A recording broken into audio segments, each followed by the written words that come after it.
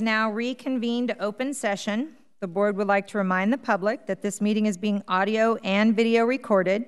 It is also available via live stream for the public through links found on the front page of the RUSD website. We would also remind everyone to please enter and exit through the lobby. And now we will report out on action taken in closed session. Uh, Trustee Sadoff.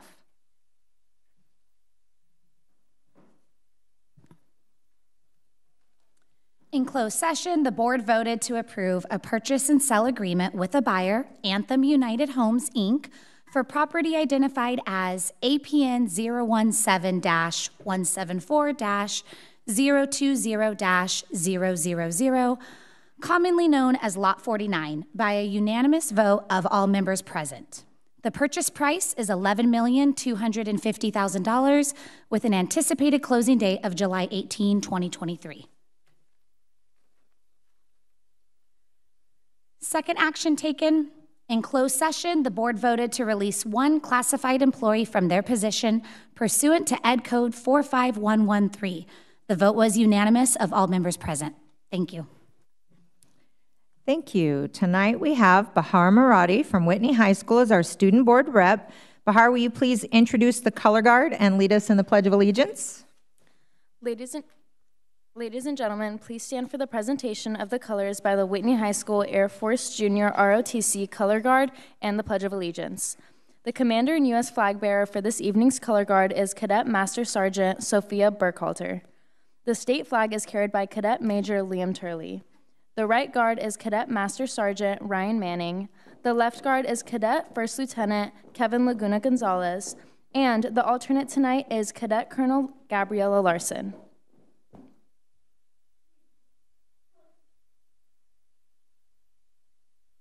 I pledge allegiance to the flag of the United States of America and to the republic for which it stands, one nation, under God,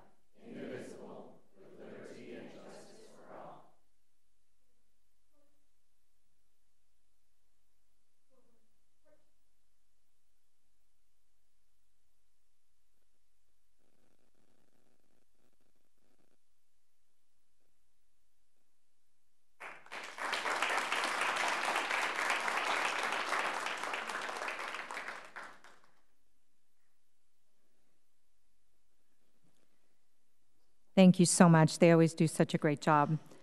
We will move now to item 5.1 Family Partners in Education. Chief Dosanjh, will you introduce our Family Partners in Education recognition tonight? Good evening, President Hupp, trustees, and Superintendent Stock.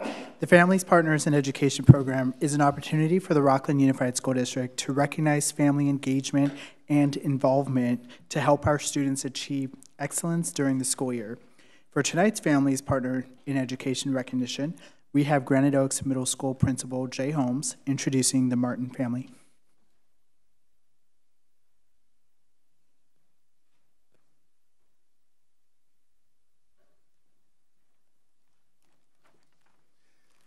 Good evening, President Hupp, honored trustees, Superintendent Stock. It is my pleasure to uh, be before you today to really honor one of our families that does so much for Grand Oaks Middle School. We know how important it is to have a partnership with our families in order to make our schools the great schools that they are. And Donna Martin and her family, Ernie, Ryan, and Natalie, are all here with us this evening um, because they do so much for Grand Oaks. Uh, I do have a prepared statement. Grand Oaks Middle School is proud to honor the Martin family for all of their contributions to our school and community. Donna Martin and her family have contributed greatly to the success of GOMS over the last couple of years. Donna fearlessly, and I do mean fearlessly, volunteered to become a Grand Oaks Parent Falcon Club member for the second time this school year. Two bites of the apple, which is huge for us in middle school because, you know, we only have parents pretty much for two years and then they're gone. So thankfully we captured Donna for another two. At the time, our PRC was in a desperate need of parents to step in and take over the leadership roles within our organization. It is extremely difficult to develop relationships with families during their brief two-year stay in middle school, not to mention coming out of the COVID-19 years. Donna not only stepped into becoming a PFC member, but volunteered to take over the communication portion of our organization and helped us with our day-to-day duties. Thankfully, Donna has jumped into these roles with both feet and never looked back. For a second time through GMS, Donna has been extremely helpful in overseeing or helping to run our pledge drives, fundraisers, dances, monthly meetings, PFC finances, and teacher appreciation events. Coming tonight directly from handing out lawn signs for Grand Oaks Middle School eighth grade parents, so, which we'll be doing tomorrow also. Recently, Donna's been found cooking pancakes, eggs, and bacon, which are all super yummy, breakfast for our staff on different staff appreciation days. So she did that not only once, but volunteered to do it twice. Our staff truly appreciates Donna rolling up her sleeves and putting in the effort to get their day off with an extraordinary culinary start. Donna has also taken part in past fundraisers and is currently running our GMS Spirit Nights. The money raised by our PFC has been used to fund clubs, purchase Chromebooks for classroom use, and support our staff appreciation activities. Donna's hard work with our PFC truly creates a positive difference in making our school one of the best middle schools in Northern California. We are indeed lucky to have Donna, and thank you, Ernie, for letting us have Donna working to make our school a wonderful place to learn and grow. On behalf of the students, faculty, and staff at Grand Oaks Middle School, we honor the Martin family for their contribution to our school. Thank you so much, Donna.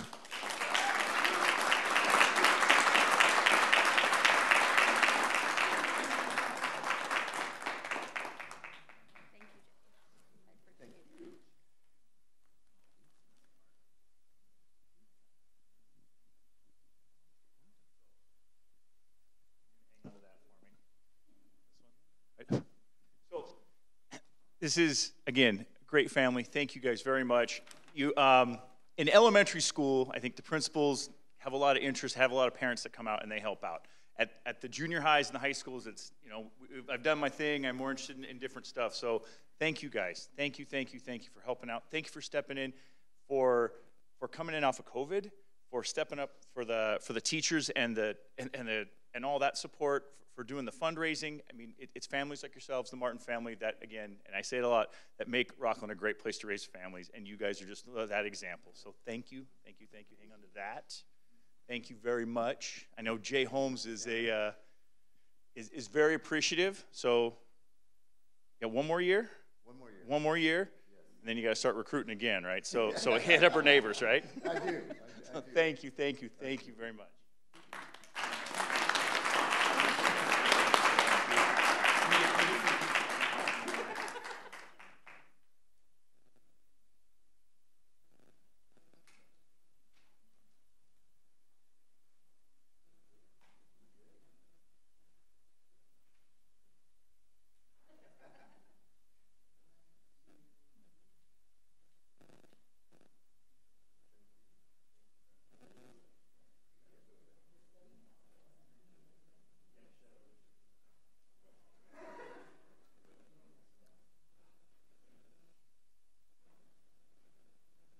Thank you so much. Truly, anyone who makes teachers yummy food deserves a red carpet. Chief Dosanjh, will you please introduce our employee recognition tonight? President Hupp, trustees, and Superintendent Stock. Tonight for our employee recognition, we have Quarry Trail Elementary School Principal Miss Melanie Patterson joining us to introduce Claudia Aguirre, a Jill of all trades, to support the Bronco family.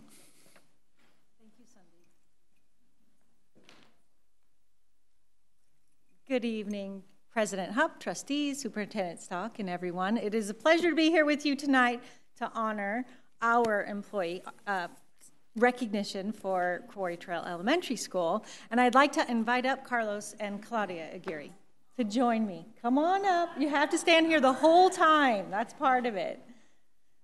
Come on up. So I don't know if you're aware, but I know you all know Carlos. Carlos is our lead custodian, and um, he's done so much for us this year. As you know, opening a new school takes a lot of work on a lot of people's part.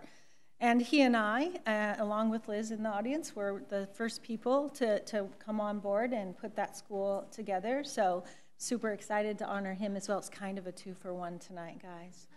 and, um, but um, this is his wife, uh, Claudia Aguirre, Maestra Aguirre. She is, um, serves our school as the dual language uh, bilingual kindergarten instructional aide, um, and she is also the morning and afternoon crossing guard. She also serves as, um, um, she has volunteered to be an advisor for our Math Plus Club after school that we work with uh, Whitney High School students. And she is also, along with Carlos, um, one of the last people at all of our PTC events and all of our dual language parent events um, to be there serving and cleaning up. And um, honestly, they are an amazing team. But what I love uh, most about uh, Claudia is she's actually a teacher. And she's come to our school because of her passion for dual language and um, in serving kids. She loves kids, they both do, and um, I'm super happy to have them part of the Bronco family. Um, it's, it's amazing because um, she just she knows when things need to be done. Uh, we were we, she was uh, she helped at the dance show. We had the dance show was outside, and so we had all the classes in the multipurpose room with Principal Patterson. It was really exciting, and I had to, um, I had to like, you know, figure out how to get them all lined up. And she just had it all organized, made signs for all the classes, knew what we needed, brought it in, had it all laid out, and um, she's all, no, don't worry, Principal Patterson, I have this all under control. And I said, yes, you do, thank you, because I absolutely do not. So, at any rate, um, she's just a fabulous person. She's passionate, she's professional, and uh, her expertise is really uh, second to none. And um, we're so happy to have both of them at our school um, serving and being part of the Bronco, Bronco family. So it's my pleasure to um, uh, thank you for doing this honor for them. It's well deserved. Mm-hmm.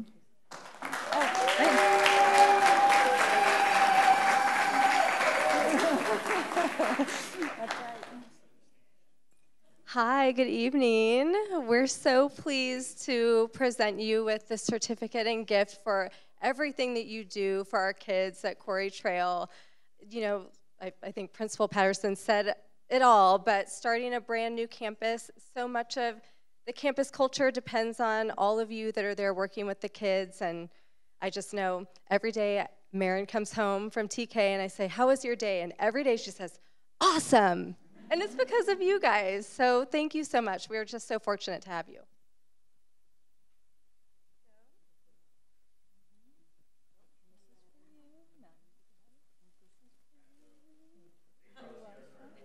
yes. And we get to go take a picture. Come on over here. You have to hold all of the stuff in the picture.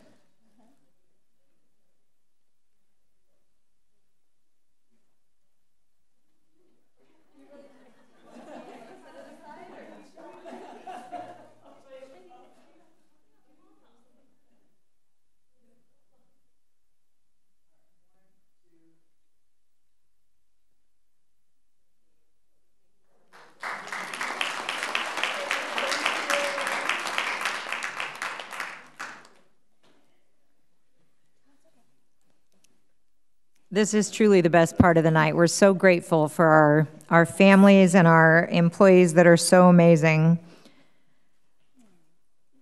So, next, um, we will be presenting the new Director of Special Education and Support Programs, Dr. Tony Limoges, Associate Superintendent of Human Resources. Will you please introduce our new Director of Special Education? Thank you, President Hupp. Good evening, uh, trustees, Superintendent Stock, Miss Georgia.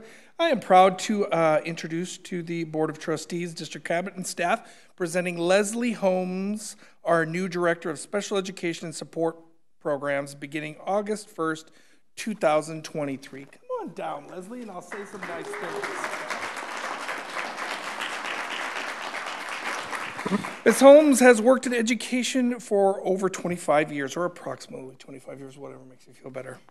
Um, she has worked at the elementary, secondary, and post secondary levels during her career as a school psychologist. She started her career in the Bay Area and has worked in San Juan Unified and Horizon Charter Schools in Sacramento. She was the director of special education for Horizon Charter School program prior to working with the Rocklin Unified School District.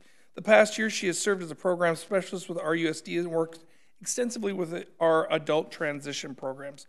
Her broad range of experiences in her last year, I think, um, made Cabinet feel like she will be an ideal candidate to be our next director of special education and school programs. Welcome, Leslie. Congratulations. Well, thank you so much for this opportunity. I'm very excited to help support Rocklin. I- I've been fortunate to be able to work here the last few months and, and get to know a lot of the staff and students, and it's just an amazing place to work. There's so many competent, um, quality, hard workers here, so I'm very excited to continue at a, at a larger capacity. So thank you again for the opportunity.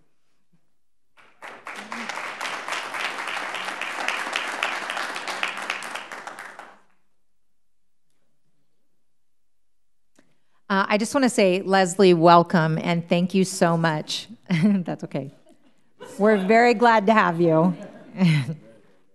Any other comments? Okay. So, if there's anyone still here for our special recognitions, we thank you for joining us. And while you're more than welcome to stay, this is also a good time to bug out.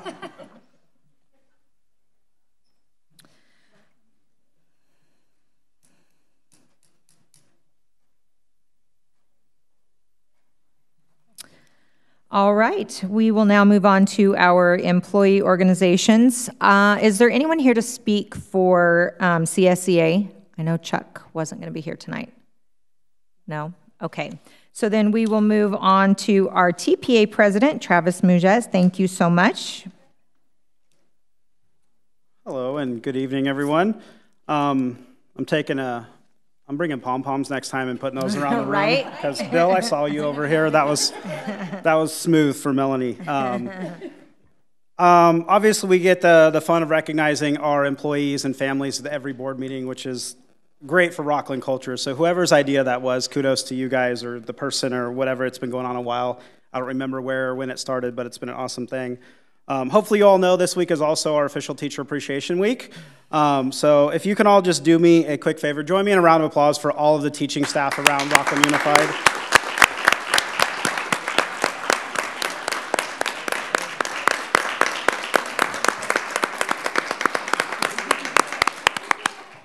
So, as we all know, it's, it's those people, along with all the support services that work with them in their classrooms, that really make us as excellent as we are. Um, and uh, Julie, you said it best. If you cook for teachers, you're pretty much like you walk on water. Gold. So um, it's great. We actually, uh, like a lot of staffs this week, have come into morning coffees and bagels and treats and you know, the, we had a discussion this week, or the, sorry, this morning um, in my pod at Whitney High School of if brownies should be in the morning or not. we, we agreed that a brownie is just a square donut, so that's an acceptable breakfast um, by at least the social science department at Whitney High School. So if you ever get questioned on that, brownie eaters in the morning, um, it's fair game. So pizza was a close second, by the way. So. Uh, some huge successes I want to uh, bring up tonight is uh, last week we had three intensive days with our labor work. Um, I, got, I, mentioned at our last meeting that we were inviting Roger to our, um, our rep council meeting that happened last Monday. Um, it was awesome. I can't tell you how well received that was um, by both Roger, um, Mary McDonald, our, um, our third party support with that labor work, and then as importantly, our TPA rep council, the, the ability to have all of them there and um, and really lean into having Roger in the room. And the best part of it was they weren't guarded. They were open, they were honest, they were vulnerable, um, and Roger was receptive to all of that. So it was just a great opportunity to have those people there and have his presence there. Roger, a huge thank you to you on behalf of our TPA for that, that presence in the room. Um, and then uh, another thank you for allowing me the same opportunity the following morning. I got to jump in with our, um, our principal group. Um, so it was me, Roger, Mary, and the, the principals across the district. Same exact prompt, same exact questions. It was it was probably not overly surprising, but definitely one of those aha moments. The same, almost verbatim feedback came from both of those groups. The same barriers and frustrations, the same successes and celebrations were verbatim. Um, and it, it, gave us a great place to move forward as far as where do we need to put our efforts and our energy um, so we can help reduce and remove some of those barriers or just understand them if they're not something that we can, we can remove entirely. And then also help celebrate all of the successes and the things that we've um, we've kind of worked through. We got to hear great examples. Um, it was awesome to hear the same site rep selling or sharing successes and then their principal the following day, not knowing what each other had shared, um, but sharing the same successes. Um, and then at the same time, it was it's always interesting to hear like the biggest struggle for somebody is like the biggest celebration for another. So that's always fun. Is kind of just keeping our, our balance and um, and uh, the term I like uh, I like that Roger used a lot is just that recalibration of where are we at with things, where do we need to go with things. So it was it was a great opportunity. Um, those days led into the second day led into an opportunity where we we finally hit that middle gap of where we hadn't touched base directly with our labor work.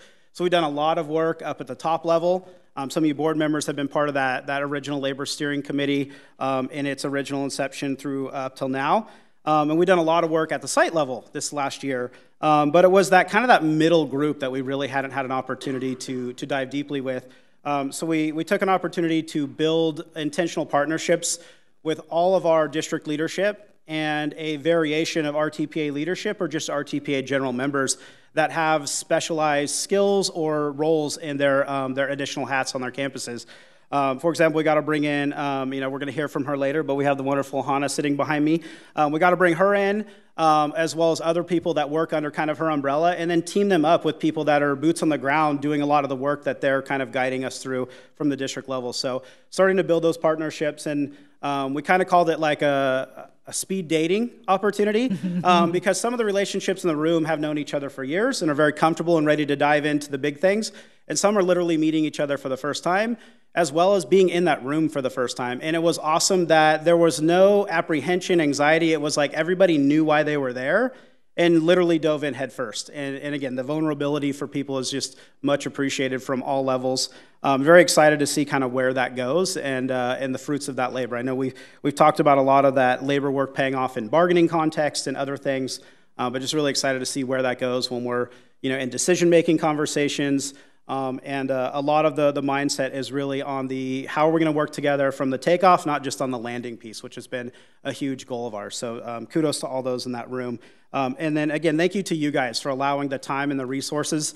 I know there was a, a dollar amount that was tied to that that we, uh, Roger asked for approval from um, earlier last year. Um, and, and I think that uh, at least if you guys aren't seeing it, know it's out there. People are seeing it. Hopefully, you're hearing from more than just me. But it's money well spent. It's it, the resources, the time that we're investing in people is paying off very tangibly um, in a very daily basis. So I hope you guys are hearing and seeing that. And if not, let me know. We'll take some tours around the district together and, and kind of see that in its um, full circle element. Um, and then finally, the third day uh, of that labor work last week was us getting together in this room, our site rep teams and our principals.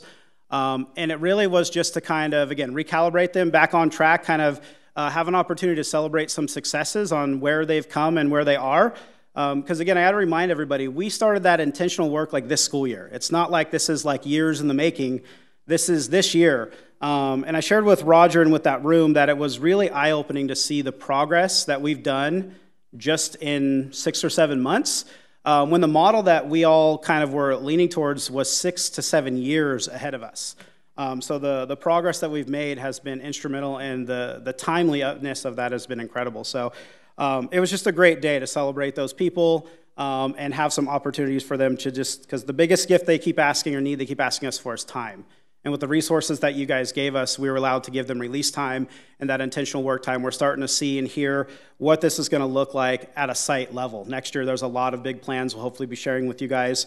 Uh, maybe a little bit at the end of this year, but definitely first part of next year on kind of what sites are looking to do with those things um, with the resources that we were able to put in front of them. And, and, again, trying to remove as many barriers as we can for them to have that collaborative culture on their campuses. So, again, thank you to you guys and kudos to everybody um, and their willingness. And then um, I always say it, so I don't want to forget, but also a huge kudos to um, both uh, Patty and Matt that over in our sub services, Matt Murphy, Patty Crane, um, for all the juggling of making sure that our classes and our campuses are covered so people could be here to do that.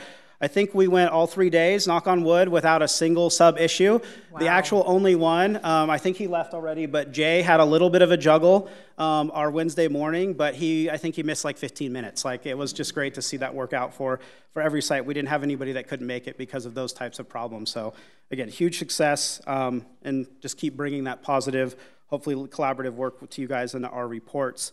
Um, that said, the labor process has been extremely beneficial at the site level. It's been extremely beneficial at the negotiation table. It's been extremely beneficial now at the district office level, having our RTPA leadership working directly with, with Rocklin Unified leadership, um, and more so intentionally. We've always worked directionally, but it's always been, or directly, but it's always been more of a, a firefighter kind of mentality, right? Like what comes up, what do we need to address? Where we're, we're so far past that that now we're like proactively doing things, right? We're, we're clearing the ground, if you will, to prevent the fires, not just putting them out. And then when the fires do come, it's a pretty quick and efficient process. We've got relationships, right? Derek, you're huge, and I, and I fully believe in the, the pick up the phone and have a conversation. I know that's really important to you. And we actually have that being embedded into our culture. And again, that, back to that speed dating comment, that was some of our goals is just give an opportunity for these people to exchange a phone number if that's all it is in that time, to pick up the phone, hey, Mr. Flowers, what's going on? You know, what happened here? Give me a heads up. And just helping all those things across the board in the same way for it's a two-way, it's not just a, a one-way um, relationship. Um, the areas that I, I do want to bring to the attention is where we're running into challenges and barriers, um, and I hope you take this with, uh, with a constructive criticism mindset, is um, one of the common areas on there was where's the school board in this relationship, in this collaborative process? So that came up on, uh, in, in conversations on, on some of our sticky notes, when we, whether it was a, a verbal conversation or just in some kind of anonymous feedback. Um, uh, to your credit, though, the great news was school board landed both as a barrier as well as an opportunity. So that's kind of where I'm hoping that, that tonight comes off as, as an opportunity um, or that, like I said, constructive criticism, if you will, because it, it was nice to see that it landed in both places. And it, it varies, as you might assume, by everybody's individual experiences and things like that. Um, but last meeting, there was, there was a test, in my opinion, and from a lot of our members, of what does collaboration look like in Rocklin when it comes to the decision making body of our school board. Um, we heard a lot of concern from you guys about what does collaboration need to look like with curriculum adoption. So I'm going to call out the elephant in the room, the science curriculum adoption. Um, and that came up a few times in our Labor Days um, last week. Um, and I went out of my way to make sure that that wasn't our focus. I actually had a good conversation with Trustee Price about why it didn't target our conversations into that or why we didn't. Um, and I committed to Roger um, before those days started. That's not what our, our purpose was those days. Our purpose was to dive into ourselves and dive into that collaborative process, RTPA, RUSD. Um, that said, there's a lot of opinions, and I'm hoping you guys are hearing from them. I know you are, whether you want to or, or, or not, and, and uh, it's appreciated that you, those of you guys that are able to respond to those. Um, and I know as the president, that's some of your extra tasks to, to be the responding voice, so that is appreciated.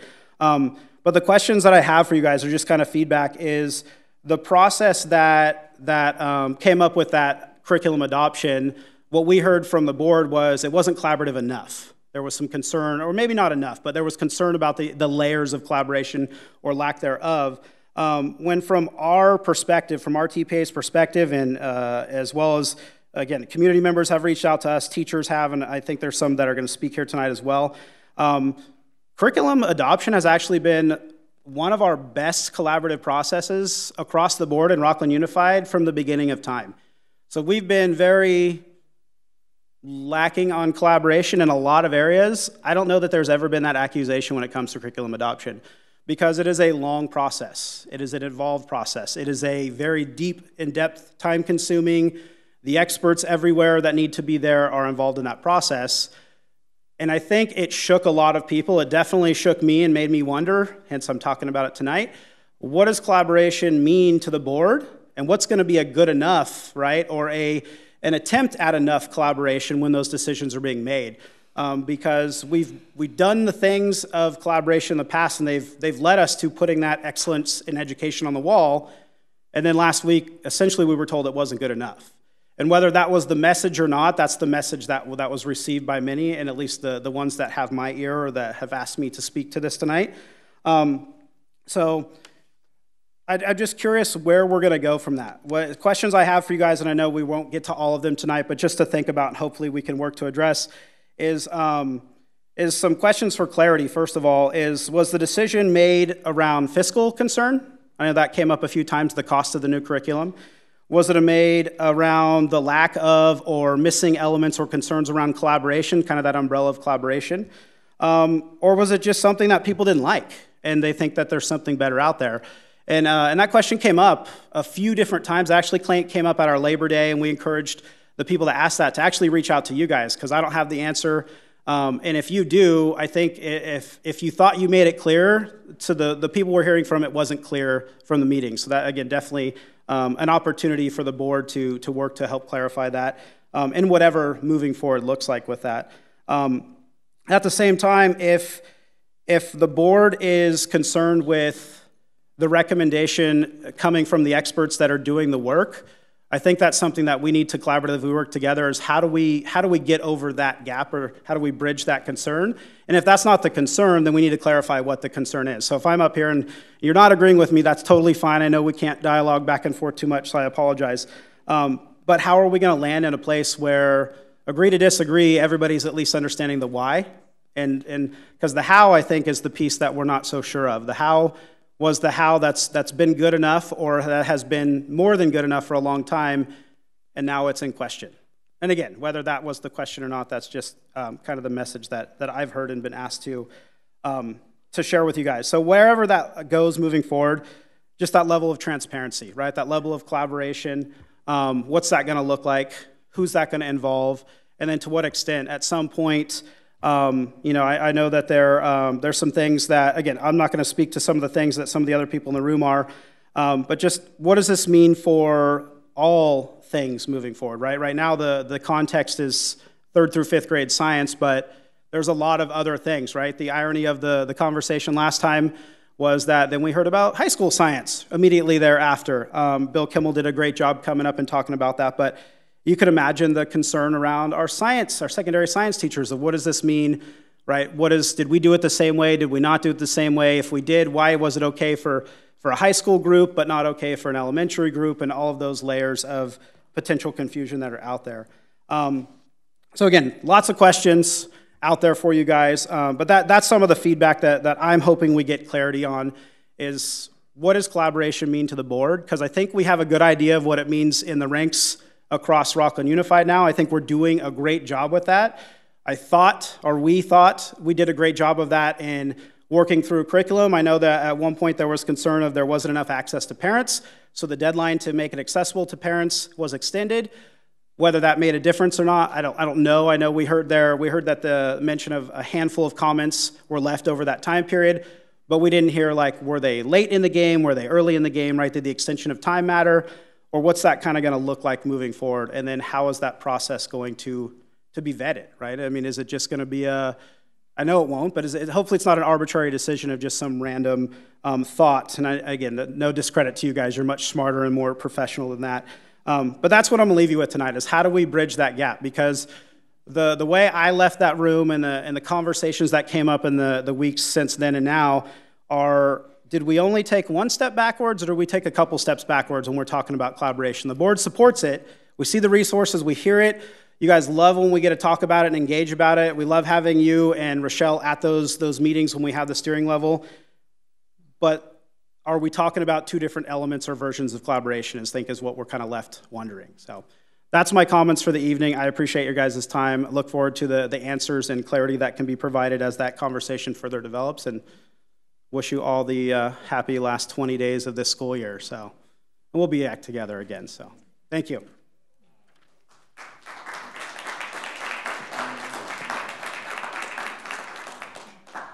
Thank you very much, Travis. Can't do it without these. All right, so now on to item 7.1, comments and report from Student Board Representative Bahar Maradi. Bahar, will you please share your report? Thank you, President Hupp, Board of Trustees, and Superintendent Stock. I'll begin by highlighting events and information provided by a few Rocklin Unified School District campuses. To begin with, Parker Whitney is looking forward to their spring band concert and a few field trips this week to Bernhard Museum and the state capitol. Their open house is on the 11th with a food truck, student art show, and student marketplace. On the 17th, their fourth graders will be performing the Gold Buster Dust play. At Sierra Elementary, their sixth graders are in the home stretch of their culminating IB experience, working in teams on their exhibition projects. Exhibition is on Thursday, May 25th. Their band concert is May 4th at 6 p.m. In addition, they have been learning a cultural dance aligned to a unit of study in their grade level and will be performing in their Dance Around the World show on the morning of May 19th. And over at Sunset Ranch, their amazing PFC spent $500 to deliver snacks to their students who are CAASPP testing so they will have the energy they need to do their best. Also, this week, Sunset Ranch PFC has planned an appreciation around the world thematic team, sorry, Teacher Appreciation Week. The following week, they will hold their annual open house on May 11th, in which their first graders will partner with Whitney High School Junior ROTC Color Guard to kick off the start of their night.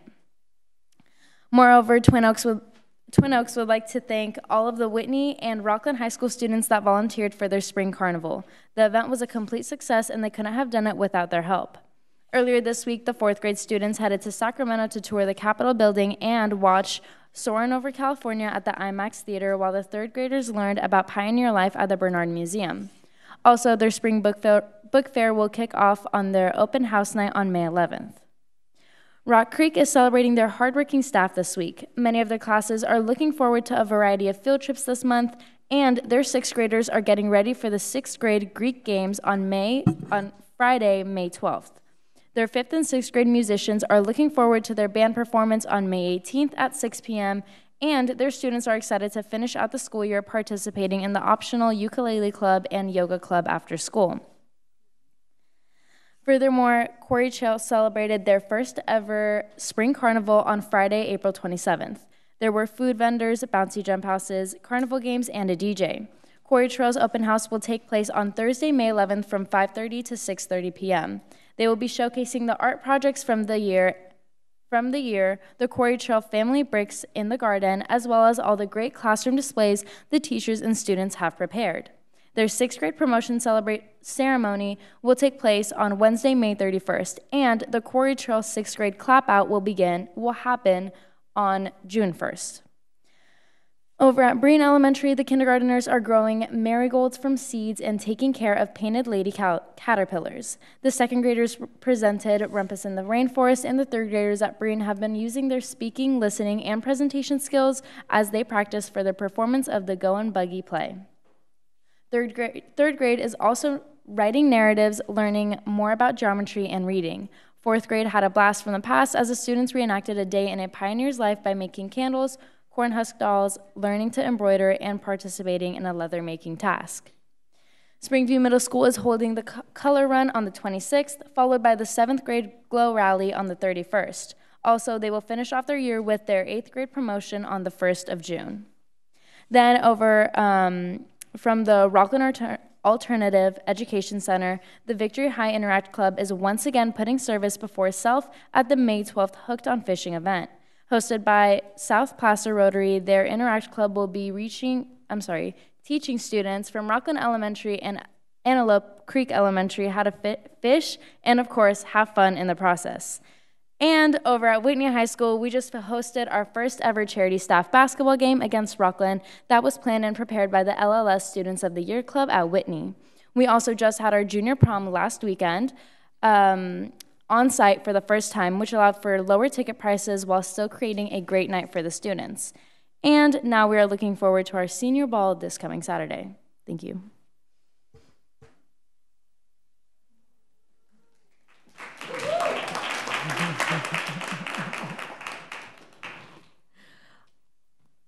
Awesome. Thank you, Bahar.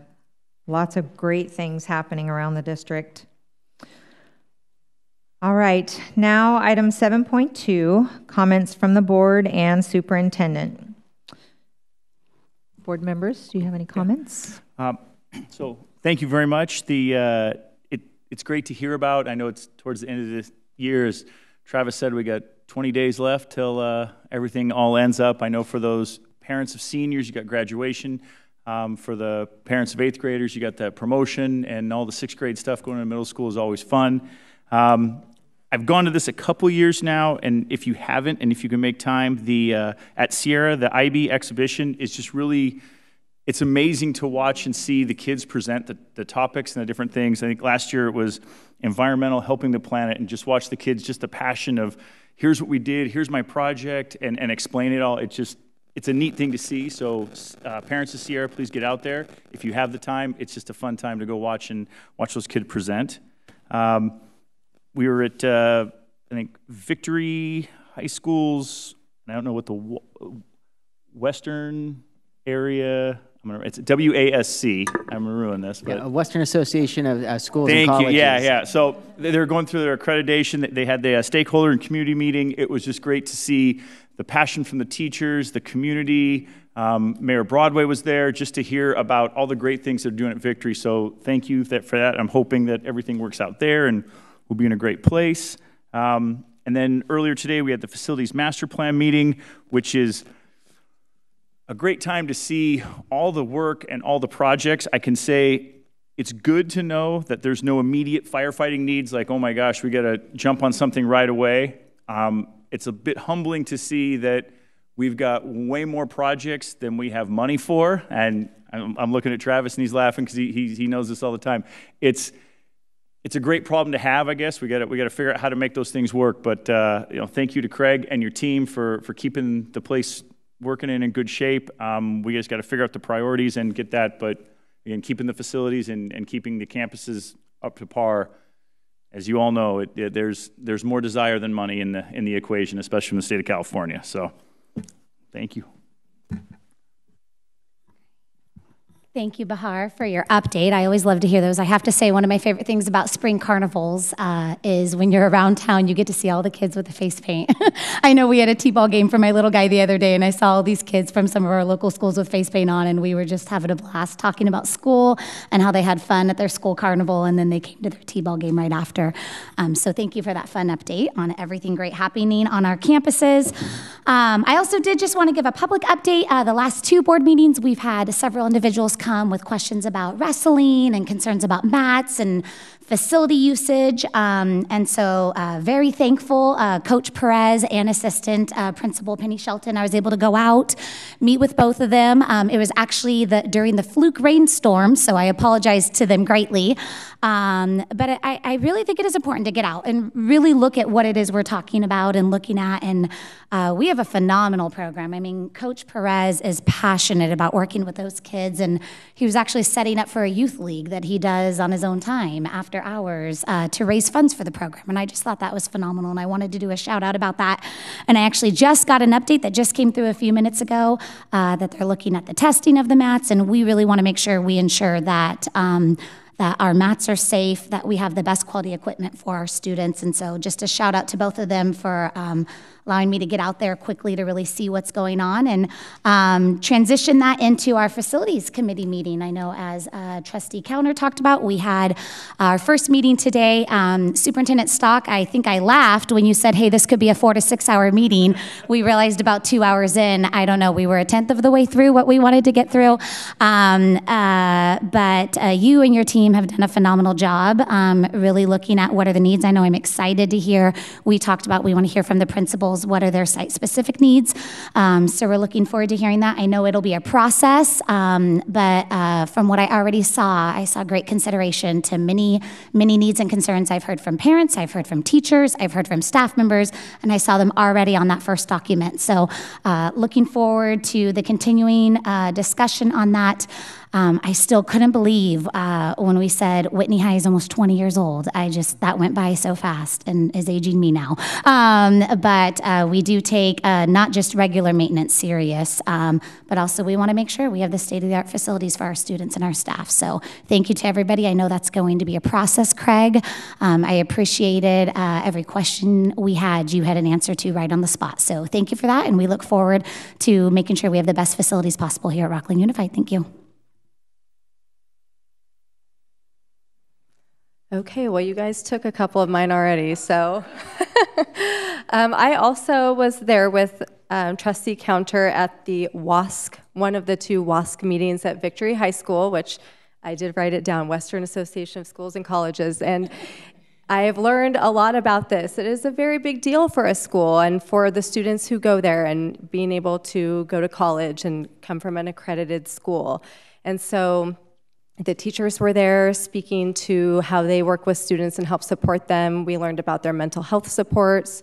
We were able to hear from community supports um, and the activities that they do to keep them engaged. And it was just very impressive. And that whole community there and the way that they support each other, um, I can't wait to spend more time there.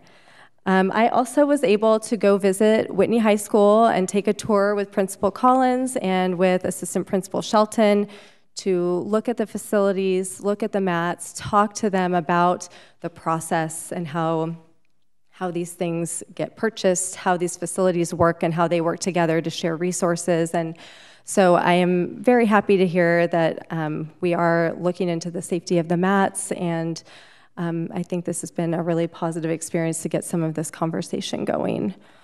Um, also, I went to the Rocklin Elementary fifth and sixth grade band concert on Tuesday. My fifth grader Adair was performing, and it was so fun. It was a great group. That you see them all sitting there, kind of getting all their wiggles out, and then all of a sudden they put together this very well coordinated show.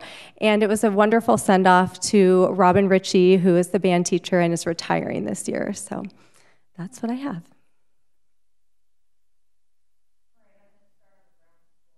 With um, Teacher Appreciation Week. Um, I just want to give a shout out to all of the teachers of our district. They for sure deserve to be appreciated.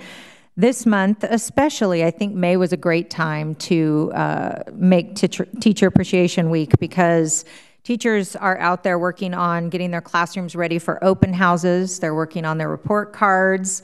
Um, a lot are working on state testing. Um, in the upper grades, there's senior balls and graduations and end of the year testing and report cards and all of those amazing things that happen in the month of May. And I hope that our families are making the teachers of our district feel very, very appreciated because I know they're working late into the night and on weekends to get everything done.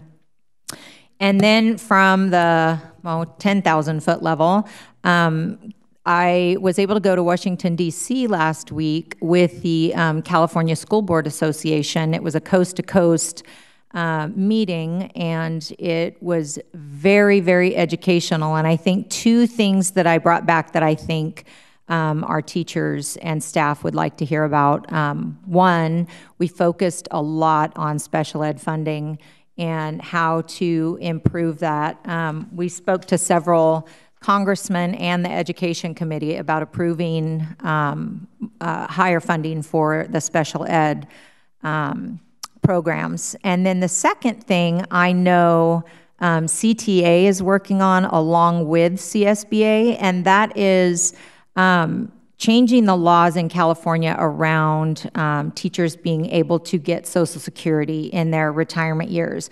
So most people don't realize teachers don't get Social Security because teachers have their um, state retirement. Um, it's considered double dipping. So in California, teachers have not been able to get any Social Security benefits, even if um, their spouse dies they don't even get their spouse's Social Security benefits. And a lot of teachers, um, teaching is their second career. So they've worked many, many years um, in the public and can't can't get the Social Security for that, or after retirement, they go to work in the public. And one of the things that we really pushed on that is our teacher shortage. A lot of um, people who may want to come into the teaching profession after retiring from another profession won't do it because they'll lose their Social Security benefits. So a lot of progress was made there, um, not just by CSBA, but by other organizations as well. And it really does look like that is going to have a positive ending. I, I don't have any dates on that, but it looks like it's going to um, go through. The Education Committee is very receptive and working hard on that.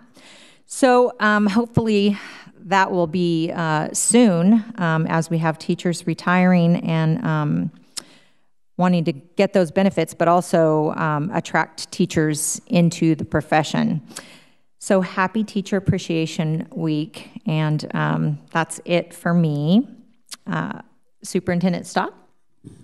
Um, I, I, just, I think as we talk about teacher uh, appreciation, we want to also acknowledge that our, our, board president is a teacher, and, and I also, uh, it, you know, know that it means a lot, uh, given having my wife and my oldest daughter being teachers, and so uh, we acknowledge teachers wherever they ser serve our kids, and, um, and, and so we so appreciate that. Uh, there's a, a, few items just, just to follow up on. I think first I want to start with our, our student trustee.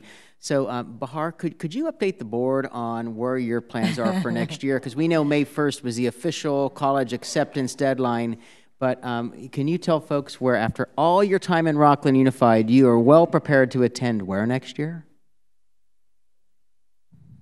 I'm going, I'm going to Harvard next year. So, so but I would like to add, I just told Trustee Counter, I'll forever be a wildcat, but roll crim. Uh, so, so we're, we're, we one just want to extend our congratulations to you and your family, and and and frankly to all your teachers and everyone else that helped assist you. But you did the hard work along the way, and and so we we think that you're a fine example of of what Rocklin uh, students can do, and we look forward to uh, the amazing things that you'll do for not just our community but for our whole country uh, in the future. So. Um, but, but that, uh, ladies and gentlemen, is a great example of what Rocklin Unified students can accomplish. And uh, Harvard's nice, uh, as though as a UC Davis Aggie, it's, it's, it's, it's okay.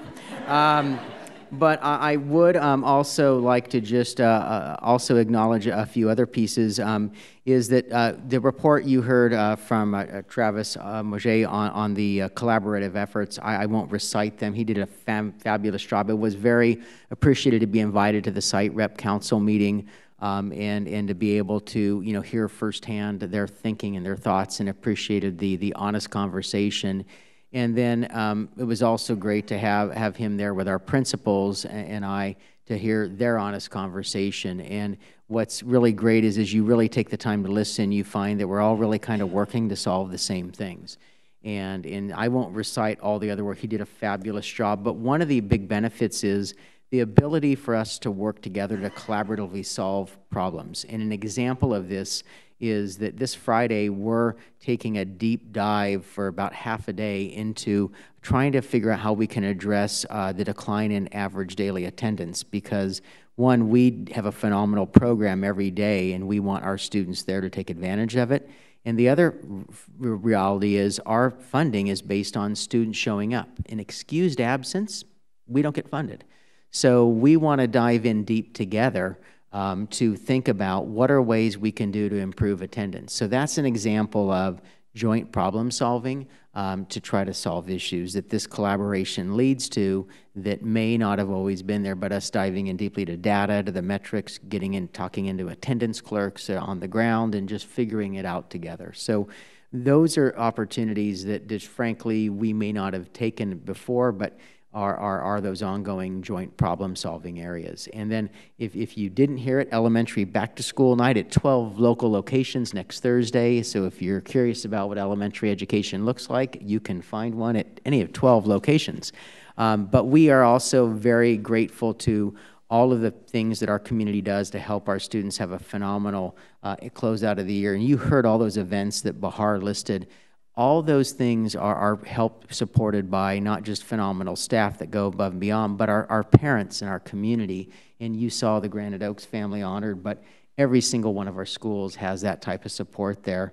And, and so and we're so grateful to that. And, and that's really what makes our schools so special and makes those memories for our kids. So um, that's uh, my report this evening.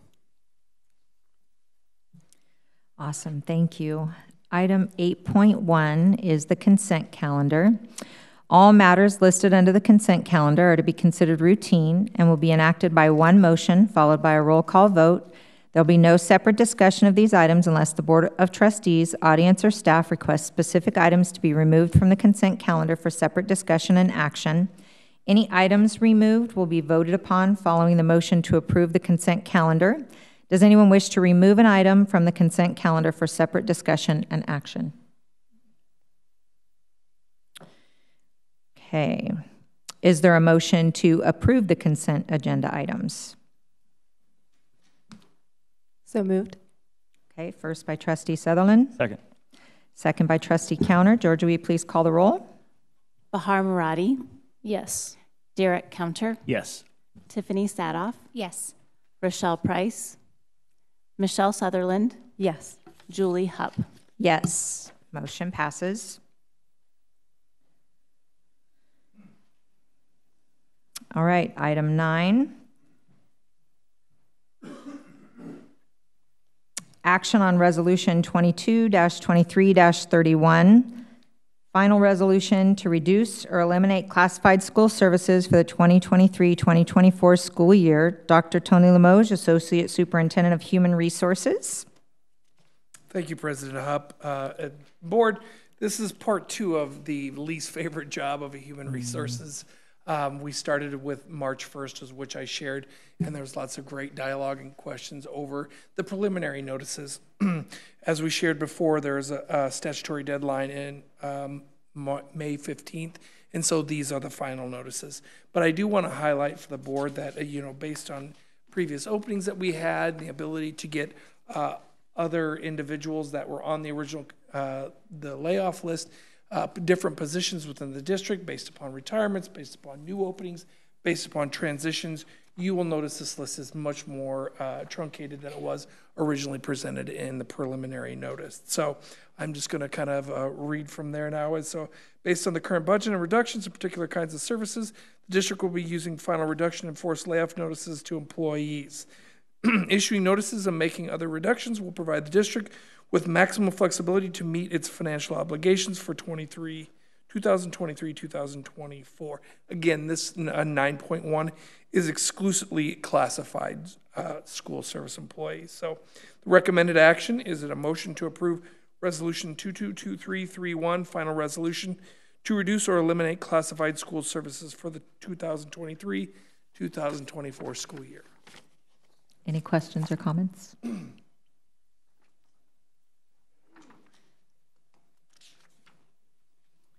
Just a comment, just to say, you know, I know we've had dialogue about this. I thank you um, not only for answering our questions in the past, but also working hard to try to make sure this is as least impact as possible. I know right sizing districts is never fun.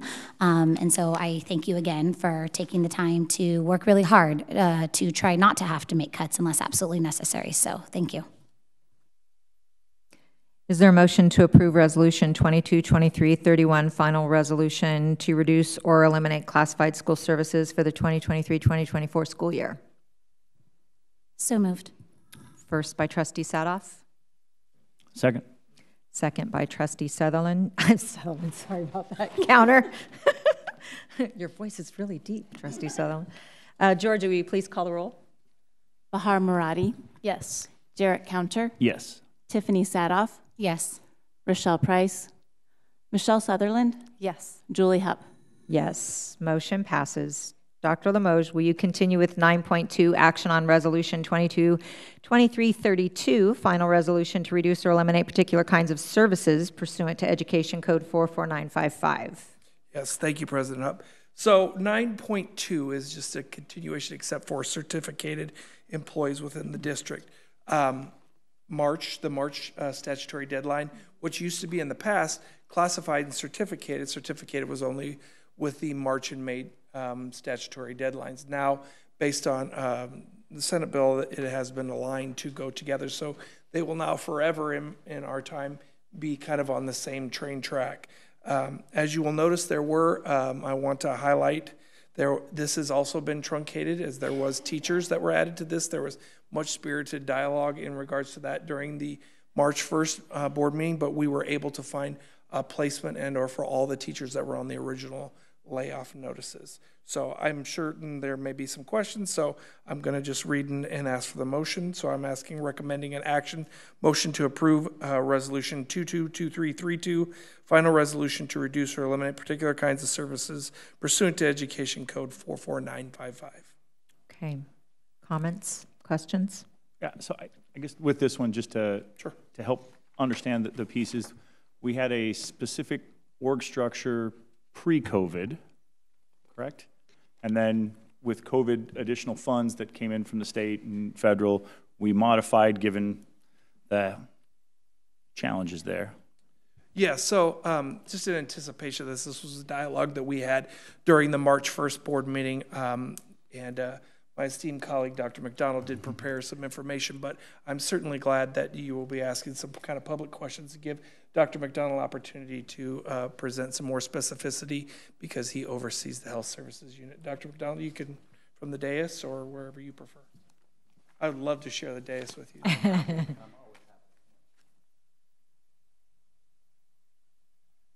Evening, Board of Trustees. Uh, Trustee Counter, so prior to the COVID-19 pandemic, we did have a, a healthcare structure for the district that had one healthcare, uh, health services supervisor. Because of the increased demand due to COVID-19 and the, the amount of calls and healthcare, you remember, you all, some of you lived through it, it was tough, but we did add a second health supervisor with one-time funding, and so that is the position we're talking about this evening.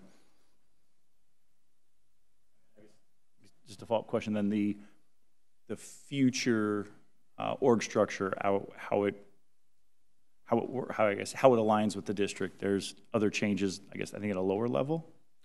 Just Yeah, so we, we recognize that um, the landscape has changed a bit. So we have um, significantly more health needs coming in for students in terms of diabetes and other pieces, uh, vision and hearing screening. So we're proposing on the augmentation list to increase uh, health aid hours at the site level in terms of providing longer hours, so, and that's direct contact with students, so we can better meet those needs throughout the day. Right now, we have part-time people largely at the sites. And I just want to say thank you for that clarification. I know at the March meeting, there was some concerns, some parents had shared, even some staff, um, asking um, for us to kind of do a deeper dive. I know since then, you were able to provide to the board some internal documents about um, really, uh, really the great work that you are doing in areas that we are looking at increasing health services. Um, But it's just a different model than this actual position was really meant to be. So thank you for that clarification, and thank you, trustee Counter. You actually hit my questions, because I know sometimes we get information, but I want to make sure the community hears as well. I thank you for taking the time to put all that information together for the board. Anything else? Okay, is there a motion to approve Resolution 22, 23, 32, final resolution to reduce or eliminate particular kinds of services pursuant to Education Code 44955? So moved. First by trustee Counter, Second. second by trustee Sutherland. Georgia, will you please call the roll? Bahar Maradi, Yes. Derek Counter, Yes. Tiffany Sadoff, Yes. Rochelle Price, Michelle Sutherland, Yes. Julie Hupp. Yes, motion passes. Thank you. Now to item 10.1, Hannah Anderson, Director, Innovation and School Programs, to present the Local Control and Accountability Plan.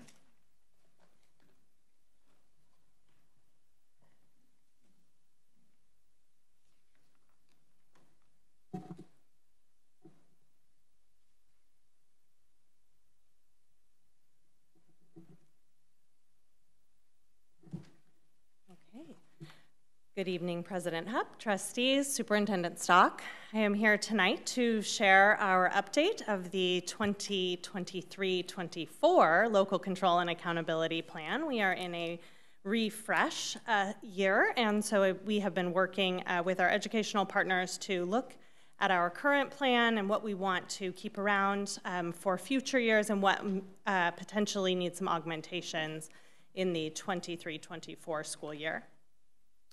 During the presentation this evening, I will share about our LCAP development process and then review the proposed goals and spend quite a bit of time with you on the actions and services this evening. Um, many of the metrics will be highlighted in the presentation today, but are also shared in an attachment. And at the end, we'll discuss next steps. As shared previously, uh, this new version of the LCAP allows for increased alignment Many of the times that trustees and the community have heard about the LCAP, it actually has not been with me standing here. It has been with our classroom teachers and Beth Davidson and her team sharing with you about the work that is actually happening within goals one and two across the district. Uh, this new format of the alignment, uh, I'm sorry, of the LCAP has allowed for increased alignment, and it has also allowed for us to engage more deeply with our educational partners in the development of the LCAP.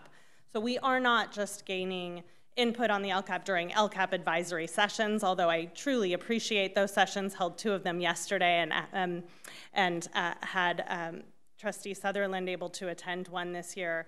Uh, we it is an ongoing um, opportunity for us to hear from our community and our teachers in those sessions. It is also great to be able to hear directly from teachers on our math steering committee, uh, and in our workshops, as well as hearing from students this year in the workshop, which will also all be brought into the development process. Over the course of this school year, we have heard uh, from trustees and hope to again hear your input tonight as we go into the final draft process, which will be done later this month. We have um, conducted our annual LCAP survey, heard from students in student forums as well as through panels, one of them uh, here during a workshop. Had an opportunity uh, to uh, hear from our Math Steering Committee, as I shared previously, as well uh, as we will be hearing from our Professional Development Committee. I believe we meet with them next Thursday. Uh, all of that will also be brought into this plan.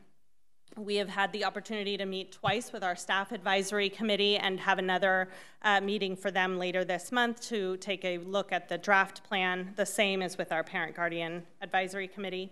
Our district leaders have also been um, helping us in the development of this process and will be coming together next week, as well as advisory committees that are representative of many of the students uh, who we are directly focused on in this LCAP development process, which is our English learners, our foster youth, and our socioeconomically disadvantaged families, including um, our students living in homelessness. And finally, we also are required by law to consult with our SELPA. We include um, in all of our committees um, representation of our students with disabilities. We will also consult with our SELPA as required by uh, EdCode. We are proposing no changes to the current uh, goals that uh, exist in the LCAP. Um, in this year's plan, we're proposing no changes for next year. Just as a reminder, the first goal I don't know how you would, uh, uh, anyone would ever forget this. We've had the opportunity to talk about it quite a bit. But uh, uh, our first goal is around math improvement and continuously improving, trying on a small scale and then bringing um, things uh, to a large scale of changes. You'll hear a full report on this from Director Davidson on the June 7th board meeting, but I am um, prepared to answer questions um, related to the LCAP this evening. Goal two is around uh, behavioral supports and social emotional supports for students. And goal three uh, is everything else that makes Rocklin Unified a great place for students um, to grow and develop. We, and a great place for staff to work um, and families to live.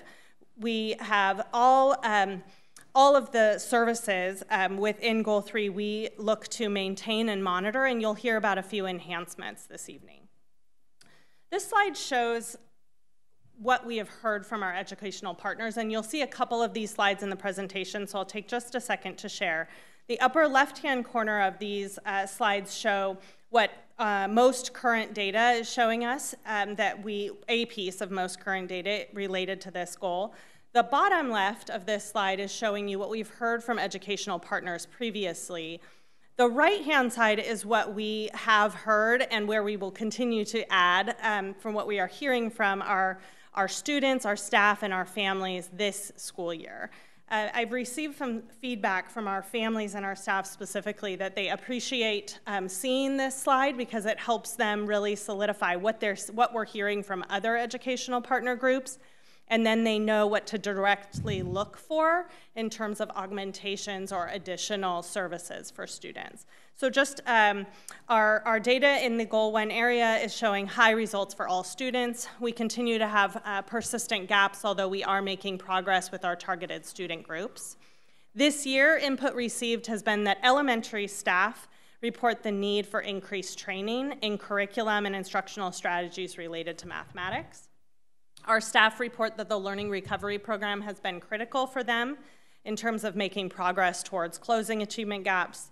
The staff also report the need to close gaps early in our elementary years um, instead of waiting for gaps to widen in later academic years.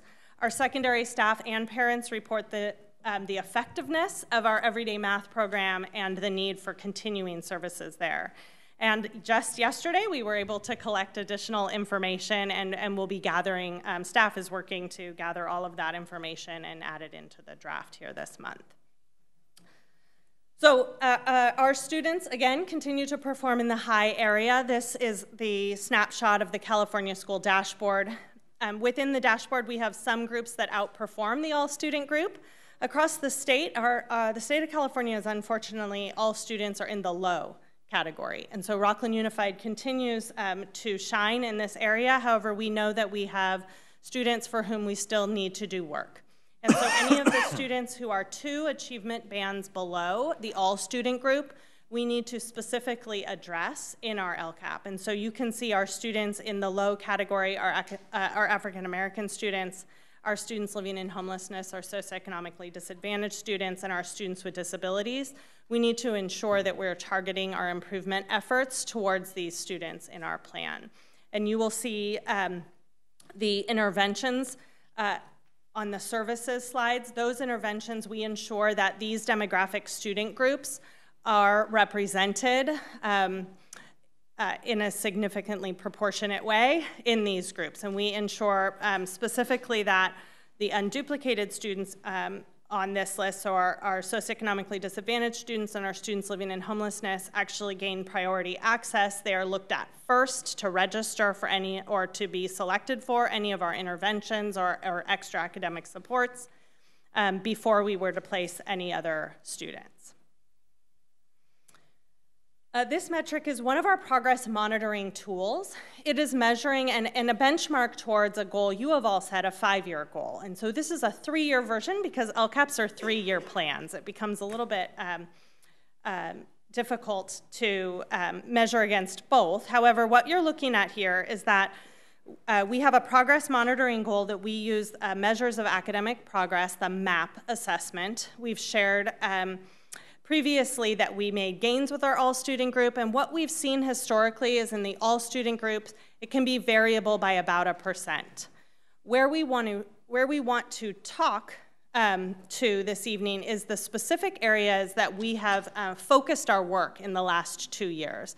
It has been in, uh, in our intervention programs, uh, in our uh, learning recovery program at both the elementary and the middle school, targeting uh, intervention curriculums, providing additional training to those intervention teachers, and we're starting to see progress towards closing gaps um, in those areas.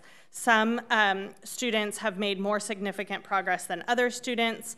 Um, and so what we are in the process of doing right now is, and, and Director Davidson will speak more to on June 7th, we're in the process of identifying which of the small scale trials have been the most effective so that we can broaden um, those, the impact of those trials uh, during the next school year. And then we also will um, be planning to take steps towards uh, addressing the all student group in a more rigorous way uh, in the upcoming year. And she'll share more deeply on that.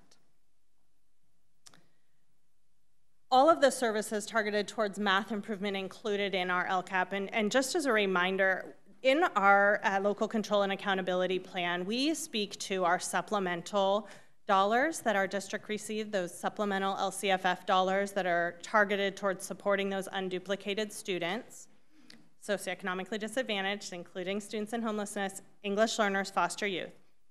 We also uh, intend to be very transparent with our community about how we are spending all of our dollars aligned to LCAP actions. And uh, throughout the LCAP, you can actually see where our dollars are focused towards each action and which service.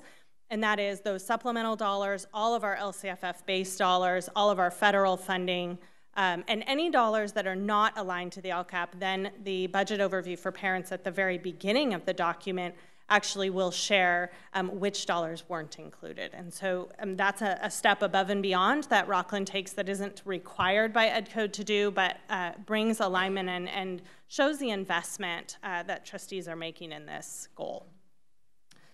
Um, goal one, um, the services, just to highlight a few, we will be continuing our everyday math um, sections that um, there are more than six sections uh, at, of everyday math at the high schools, but we have added uh, six sections through this process, so we'll be sustaining those next year.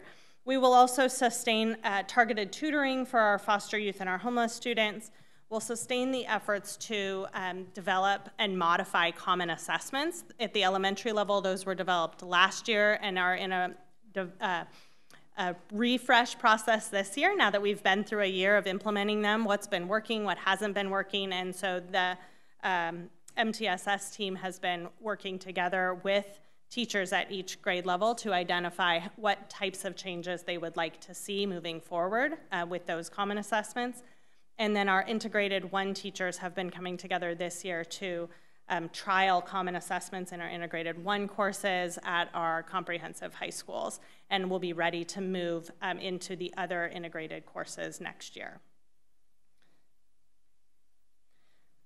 Expanded services that we uh, will be continuing are listed here on this slide.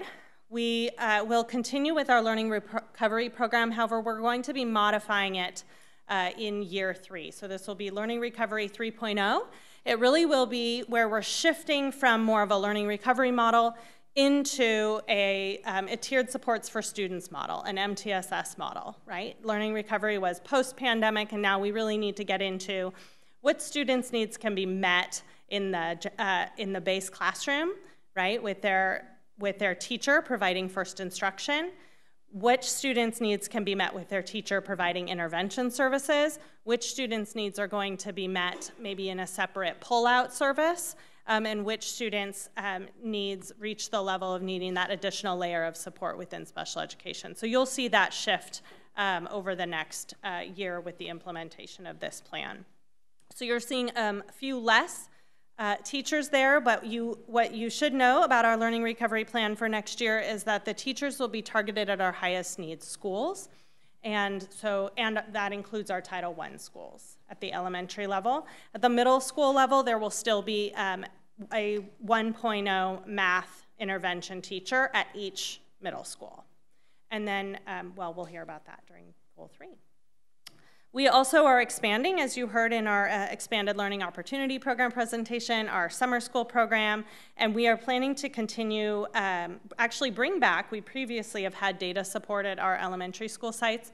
With the learning recovery teachers, we've been able to phase that out a little bit, and now there will be two schools that will get back some data support because they will be um, having a learning recovery model that won't include a certificated teacher. And that's Quarry Trail who's been doing that this year, and Ruhkala Elementary School. They'll be using a different model where their current, uh, Ruhkala has a current learning recovery teacher. They'll be going back to the classroom. Um, and then they'll be kind of that lead of that program and helping to support the instructional aides um, who will be continuing to, deliver, to deliver the interventions. Okay, we are looking at a few budget augmentations within uh, our math improvement efforts.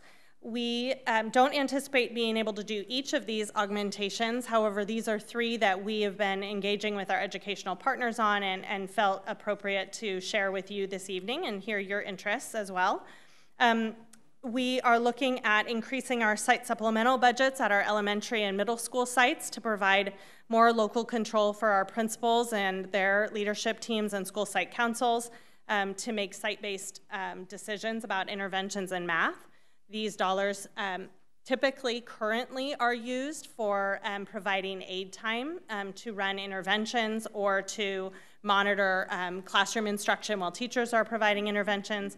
Also, we um, use these dollars to um, supplement uh, curriculum, and we can use these dollars for software programs that are purchased at the local level. The other options that we're looking into are the acquisition of math intervention curriculum. We've been trialing a um, building fact fluency intervention elementary, so there may be some needs there to increase what types of um, interventions are necessary to fill skill gaps at particular grade levels.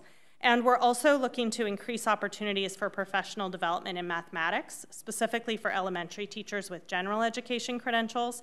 And we also have our uh, integrated one and integrated two math teachers um, reaching out to the MTSS team for a request for training as well.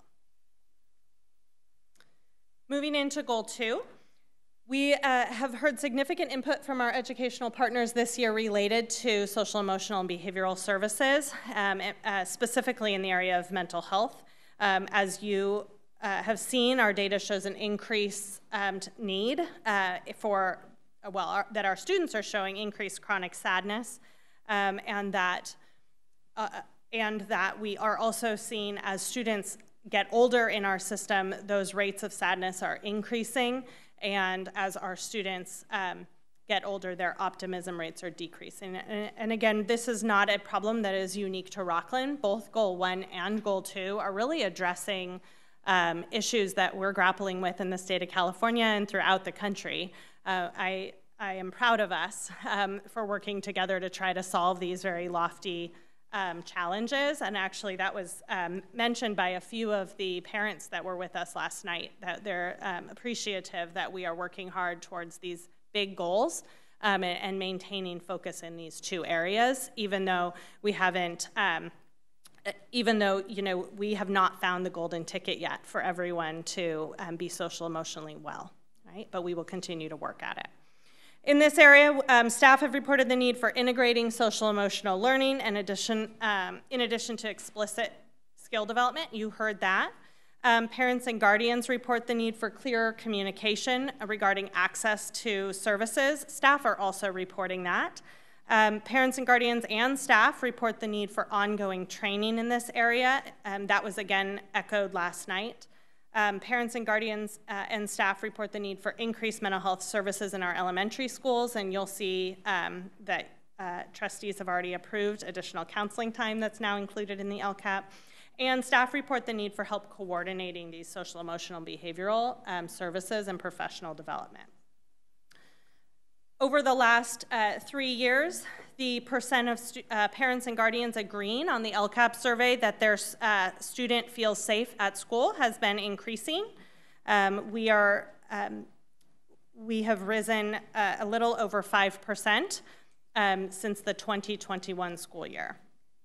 Great progress on that uh, indicator. We also um, shared this in a disaggregated way at the update in February. But in the area of behavior, we are having students who are having a, a more significant behaviors coming into our schools, and staff reporting some um, less uh, supports to be able to address some of the behaviors they're seeing, or that um, those tiered supports and interventions, um, they don't know what those are and want the opportunity to be able to access those for students. We see that at the elementary level, this has dipped slightly this school year.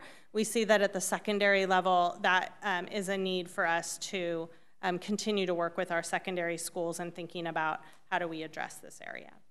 So a few of the highlighted services here, I will not read them all to you. Um, obviously, continuing with our secondary counseling, we will increase our elementary um, counselors. So each elementary school next year, very excitedly, will receive two or three days of counseling support. So what we trialed at our Title I schools this year, next year will be um, for all of our sites, and then our Title I schools will still get a little bump on top of it, which is excellent. Um, continuation of school-based therapy for our secondary schools, um, continuation of breaking down the walls at our secondary sites, and then we will also plan um, to continue and expand our family um, education series. Uh, we are in the middle of a um, Teaching with Love and Logic series that is um, in an eight week series that is going on right now in consultation with a local um, business owner, but also who is a member of a um, community organization we've worked with previously. We also had a community organization put on a parenting teens session uh, earlier in the spring, and um, and our coaches put on an amazing parent university um, with um, local partnerships as well in Wellness Together and um, law enforcement, and as well as RUSD staff presenting.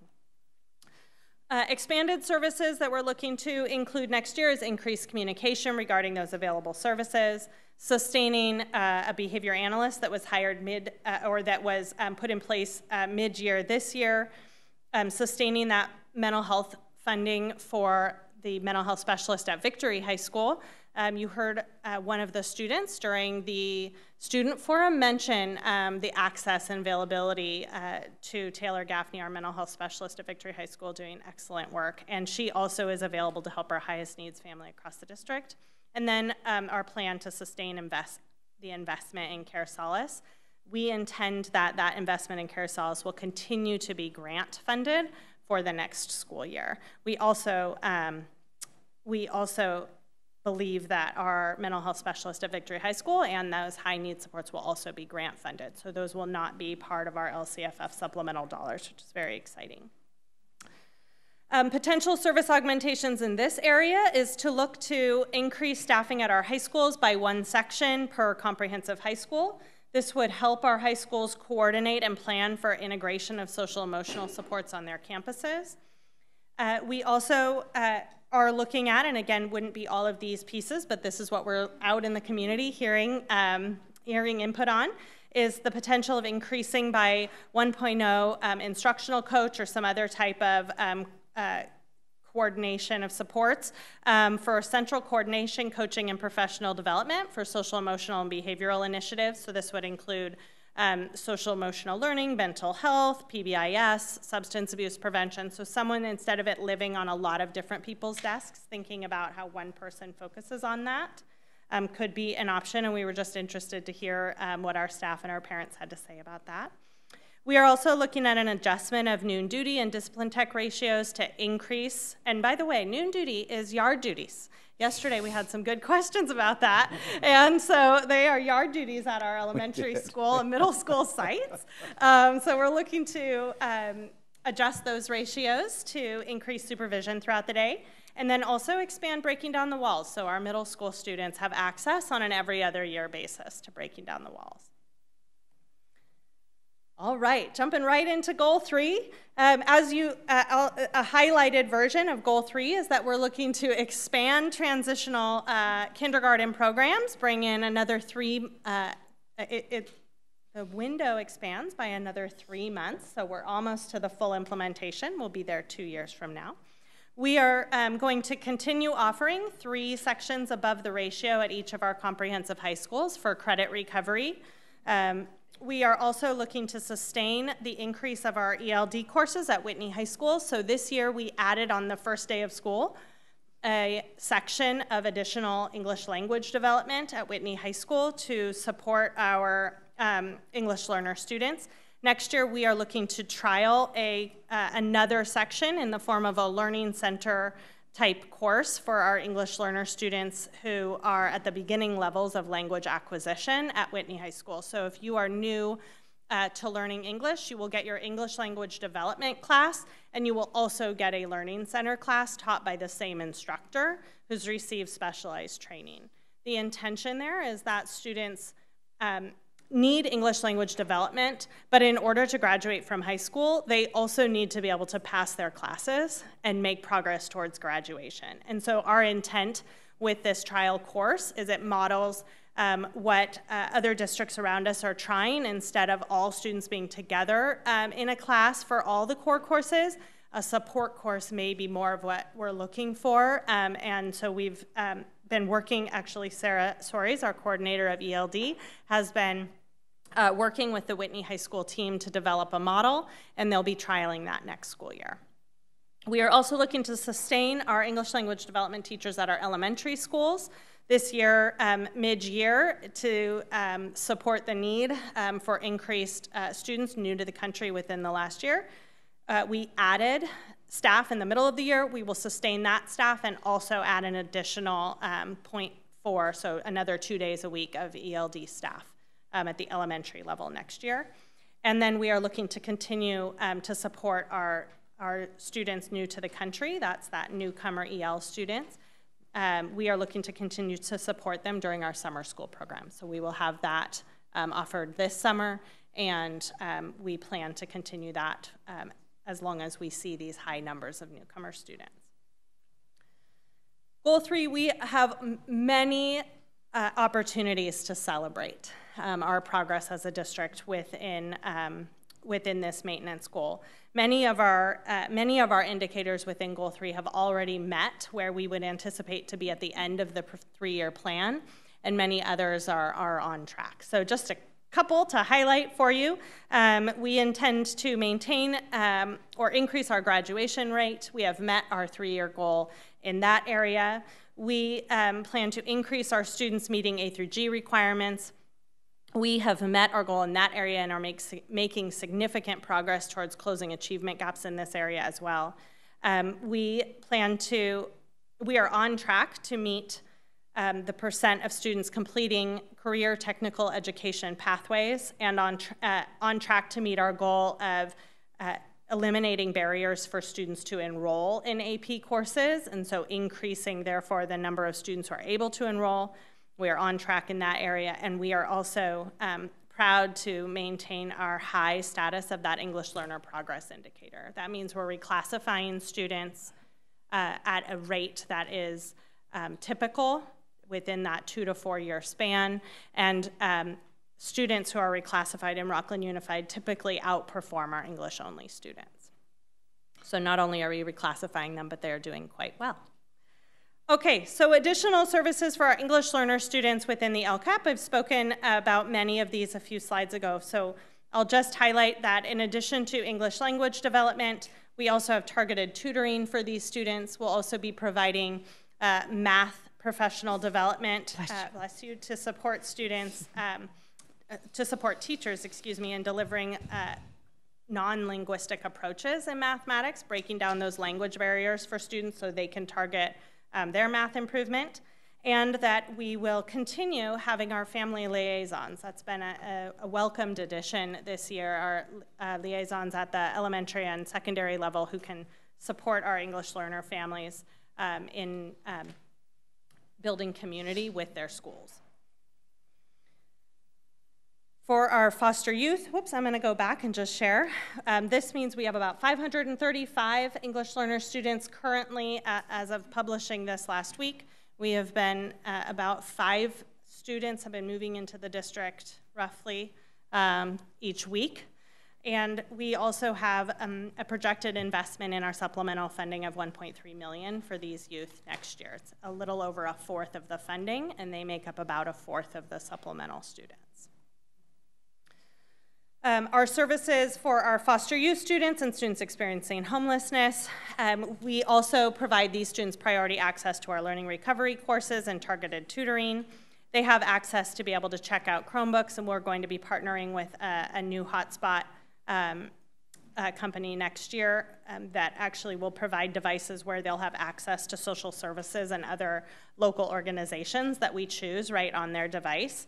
Um, I'm eager actually to collaborate with a few of you on local organizations and that we could put on our devices.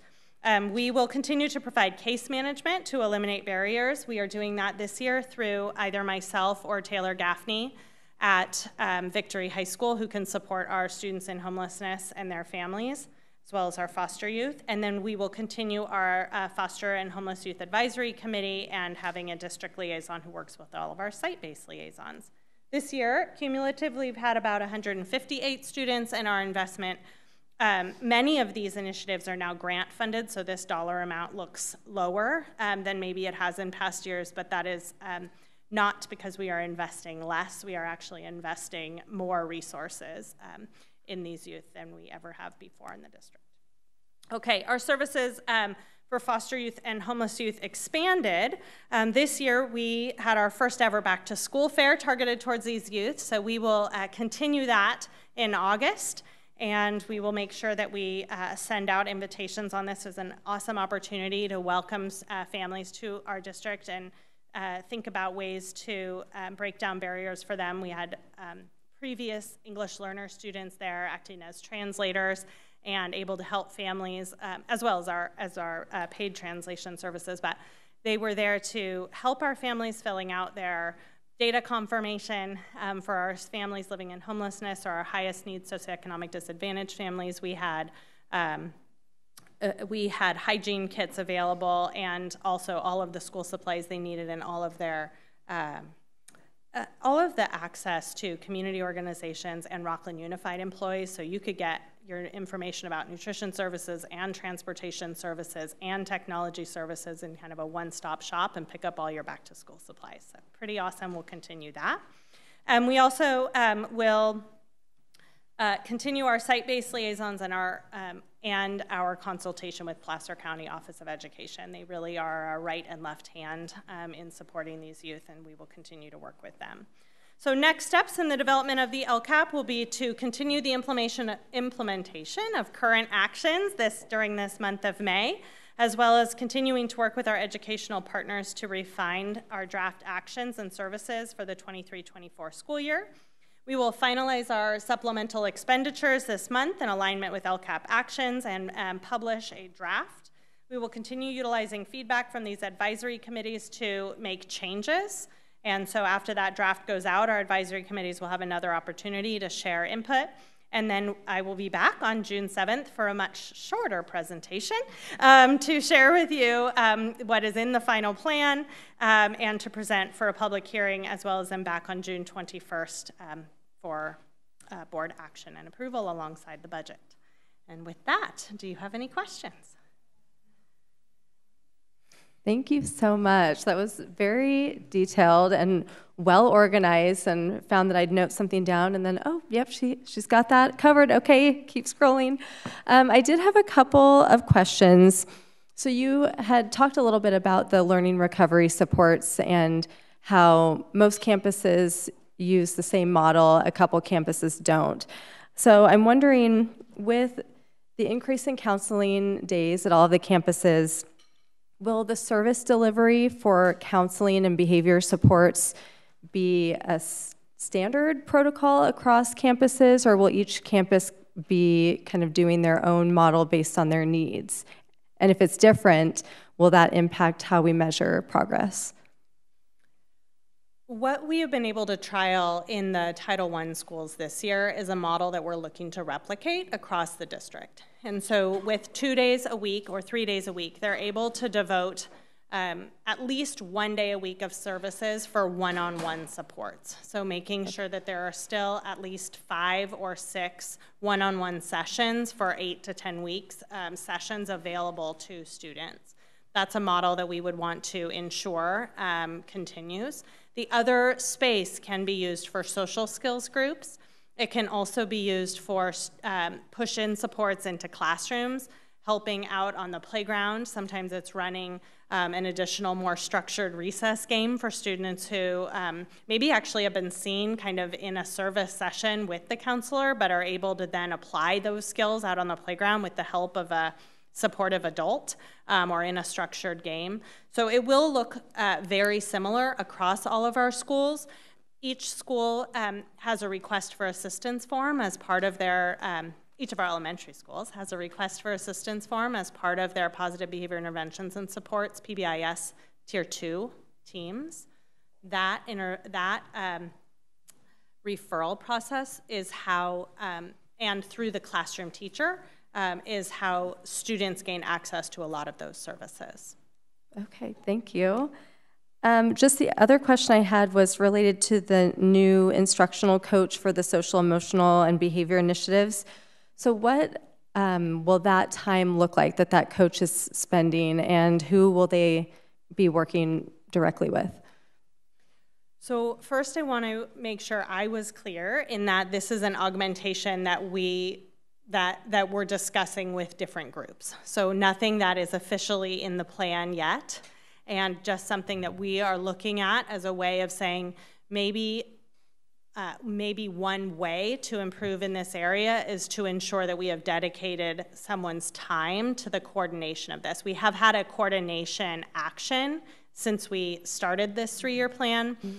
But it's lived a little bit on a lot of people's plates instead of having one dedicated person. And so we are we have not fully designed exactly what that day would look mm-hmm. like, but we intend that they are able to spend their time thinking about the coordination of social emotional services, mental health services into our um, PBIS systems in our K 8 schools and Victory High School, and then also um, through the integration of um, uh, the models that are being used at our high school settings. Um, we have we have trialed homeroom at one of our high schools. We know that they're looking to trial something else. So we really want them this person to work alongside the site social emotional learning teams and help each of the schools think about their implementation plan and support by cultivating resources, professional development um, opportunities. We would like this person to participate in networks and communities of practice with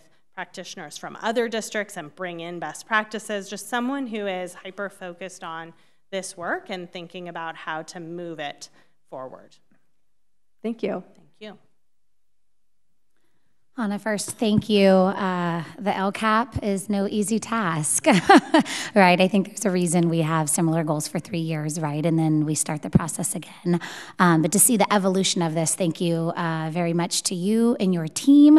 Um, I just had a couple items that came to mind as I was looking through the presentation. Uh, slide six Uh, always important. Great to see this slide um, that we're hearing from our educational partners of what they're requesting, what they're asking. I did notice on there a bullet point um, that secondary staff and parents, guardians report a need for increased everyday math classes. Um, and I thought that was really important to highlight. Um, but my question surrounding that is do you anticipate that specifically being the everyday math model? Um, or I know Whitney High shared with us a model they were piloting. I believe they called it a co-teaching. I call it double teacher model, where essentially, right, you're you're lowering the class size by having two teachers, or the ratio, I should say. Um, and they were showing us some data that that was really successful. And I know that was a, a, a really early pilot when we did the study session but we were kind of comparing the two models. Are we specifically looking for the LCAP at just investing in the everyday math? This is where having uh, trying to truncate into slides. So Okay, that's that what I thought should it might be five sections at Whitney High School of everyday math and Okay. one section at Whitney High School of the dual teach. Okay, so we do model. plan to so keep it. they are going to continue because they have seen uh, um, success with that model there at Whitney. Great, that's what I thought. So I was like, wait, are we not using? No, no, no. The data just looks so great when you shared it with us. And I didn't know if there was a reason staff and parents were specifically wanting that other model. So great to hear. I know not everything can get squeezed on these slides. Um, and then there was so much good information. Slide 19, I just wanted to bring one point. Um, so many so many great percentages on that slide right? I mean we've talked about that many many times. You compare rocklin unified to the rest of the state. I mean our graduation rates our a through g readiness. We always want to do better because any percent less than 100% right? We want to make sure every single child is doing the best they can and having the best outcome. Um, but I, I, I, I, I still want to kind of just um, put like a little emphasis on the CTE. I know you hear me say this all the time. You're probably not surprised. Um, but I do believe uh, we have students and we want them all to be A through G ready. Um, but the reality is, we do have students, and really in that homeless foster youth area, um, that they're, they're, they may not be going away to a four year university. I would love to see us really focus that goal three in the future on increasing students completing CTE pathways. And if that means um, adding additional pathways, um, or even maybe including in that or supplemental to that dual enrollment options, um, I think that's a great option for students um, that maybe don't have the support to go away to a university. Uh, today, I was at a city event um, where Sierra College spoke, and they were just speaking out about some of the phenomenal things that they provide, and in specific, a foster homeless youth program and a grant that they provide for students. And I just caught myself thinking, man, let's highlight those dual enrollment opportunities and give these students um, really a viable path that they might transfer in two years to a four year. Um, but let's maybe focus um, on some of those areas where we're still seeing gaps for those students. Maybe a focus more on CTE for them might be an option for them. But thank you. I know that's the intent of this info item is we kind of get to share with you our desires. Um, so I'd love to see that kind of highlighted a little more. But thank you very much for all your work. Thank you. Th- Thank you very much. I know that the, the journey is long. You're going from 2019 when we started, and, and, and thank you for showing the metrics. Thank you for showing the history. I think it's important to show the community like we're on track or we're hitting, we're hitting goals, we're, we're doing good things. Um, I know the social emotional piece wasn't in when we originally started, so it's great to see a little bit of a flex there when it comes up. And taking a slight twist, putting the effort behind it, and, uh, and changing a little is a good thing, given that we're hitting a lot of the metrics and doing the great things. So again, thank you for all this. Uh, looking forward to seeing all this come to fruition, and then, then we start again, right? Off we go. Hannah, thank you so much.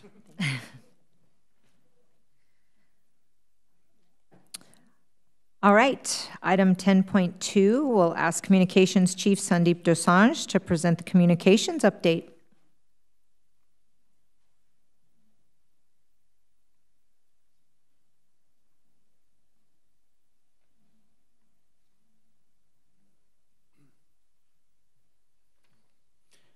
Good evening again, Board President, trustees, and Superintendent Stock. So tonight, we would like to provide you guys with information on efforts we are doing to raise awareness of our um, exceptional programs that we offer all of our students and families. So, as you're aware, Rocklin Unified offers a variety of options for students and families to choose from when they select what works best for them and their children. Tonight, we will discuss these programs.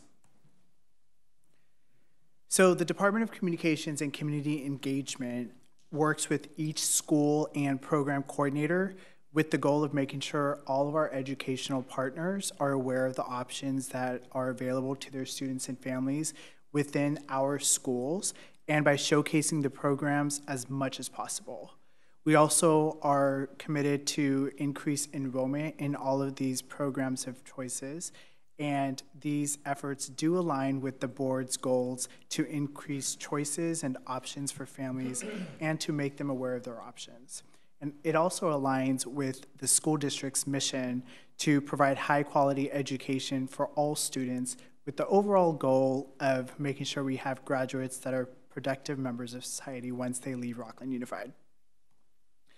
So let's look at the metrics. We're working for continuous improvements in all areas, including increasing enrollment in all of these programs. So in June of 2021, the IB program at Sierra Elementary had an enrollment of 434 students. After some promotional efforts, we were able to increase enrollment by 44 students to 478 students, which was um, from October 2021 data. However, in October 2022, the enrollment did drop down to 447 students, and the um, current enrollment as of April 26th for the upcoming school year is at 426 students, but we still have time to do additional outreach and raise awareness and for our families at Sierra College and faculty to let people know that um, our programs are open at Sierra Elementary. Over at Rocklin Elementary School, we have the self contained GATE program, and it begins through grades second through sixth. In, uh, in June of 2021, we had 99 students enrolled, and by October of 2021, we increased it to 140. And then for the current school year, the enrollment was flat at 143 GATE students, and in, um, it's currently flat for the upcoming school year. But keep in mind that the capacity for the self-contained GATE program is about 145 students. So currently for the upcoming school year, we do have a wait list in some grade levels. So the new Spanish dual language program at Quarry Trail Elementary School began with 70 students for transitional kindergarten and kindergarten grades. And next year it'll expand to include first grade. And as of last week, enrollment for the dual language program was at 118 students. So the junior ROTC program at Whitney High School, it's, um, it's a school district program that happens to be housed at Whitney High School. And as of June, in June 2021, the enrollment was 88 students, and that number did drop to 66 students by October 2021, and it remains flat this school year. So there are hundreds of students enrolled in our career technical education programs at each of our high schools, our comprehensive high schools. However, the following numbers show the students that completed the three course sequence of CTE students. So CTE completers at Rocklin High School rose from 100 students in June 2021 to 164 students in June of 2022. Over at Whitney High School, CTE completers in June 2021 was 150 with 181 students in June of 2022. So keep in mind this school year, those numbers won't be available until graduation. And um, we won't know um, next year's until June 2024. Okay, so the following programs, I, I want to preface this as saying that we in the communications department work closely with the schools and the program coordinators to determine what type of support they need, if any, from the department. Because they separately do their own outreach to build awareness about their programs each and every day. So we're going to take a closer look first at the interbaccalaureate primary years program at Sierra Elementary School. So since the production um, of the original IB video in May of 2021, it's been used on the district's website and the school's website. It was also used to educate the current families at Sierra Elementary as well as prospective families, and it's shown during parent information nights, back to school nights, and open house.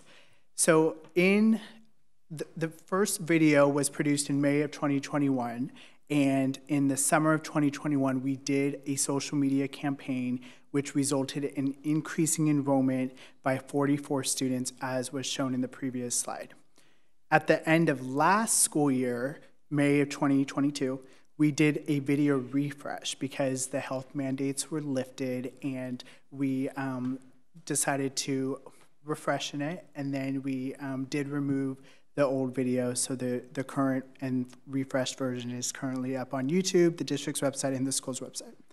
So um, before any type of social media campaign or increased outreach is done um, my department work, works closely with um, the school principal, Ms. Westberg, um, Ms. Johnson, the program coordinator, as well as Dr. McDonald in elementary services department to determine if further promotional efforts are needed. So now we're going to the self-contained GATE program at Rocklin Elementary School.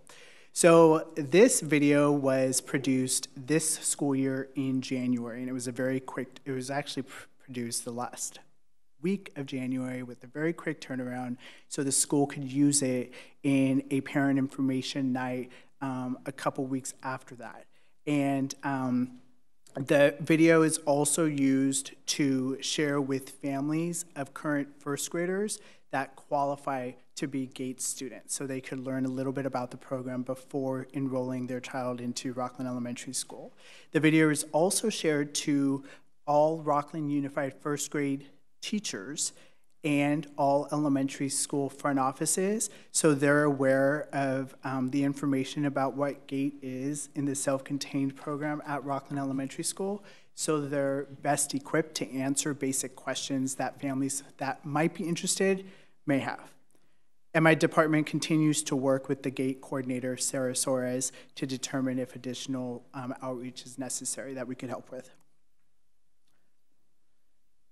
Okay, so the Spanish dual language education program, obviously it's a new program that Rocklin Unified offers.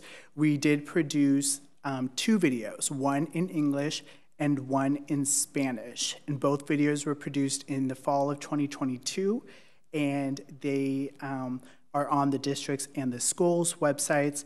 They're used um, in parent communication that the school pushes out to increase enrollment of Spanish speaking students and families so they could consider enrolling in the, um, the program at Quarry Trail Elementary School. Um, they plan to use it um, beginning next school year at back to school night, but they did use it in January at Fiesta del Año Nuevo. So I do want to highlight that um, through um, our efforts with the Rocklin Educational Excellence Foundation, we did secure funding for a few videos, including the Quarry Trail videos. Okay, so let's me go to the next slide. So now we want to talk about the Air Force Junior Reserves Officers Training Corps, more commonly known as the Junior ROTC program at Whitney High School. So I don't know if you guys saw the video yet, but it's phenomenal. Um, so is the video. So are the videos from the other few programs that we already talked about.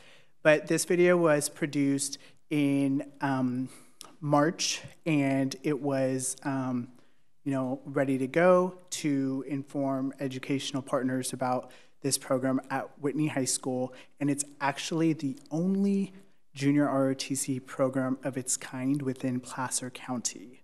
It's very important to mention that. So if you know anyone that wants to transfer from a neighboring school district, um, the likelihood of those transfer requests being accepted are very high because it's a unique program. You can do that online, 24 hours a day, seven days a week. So the video is also on the schools and the district's websites and will be shown at community events such as the Rocklin's 130th anniversary historical and cultural celebration at this Saturday from 3 to from 4 to 8 p.m. at Johnson Springview Park that we will also have a booth at as well junior ROTC program.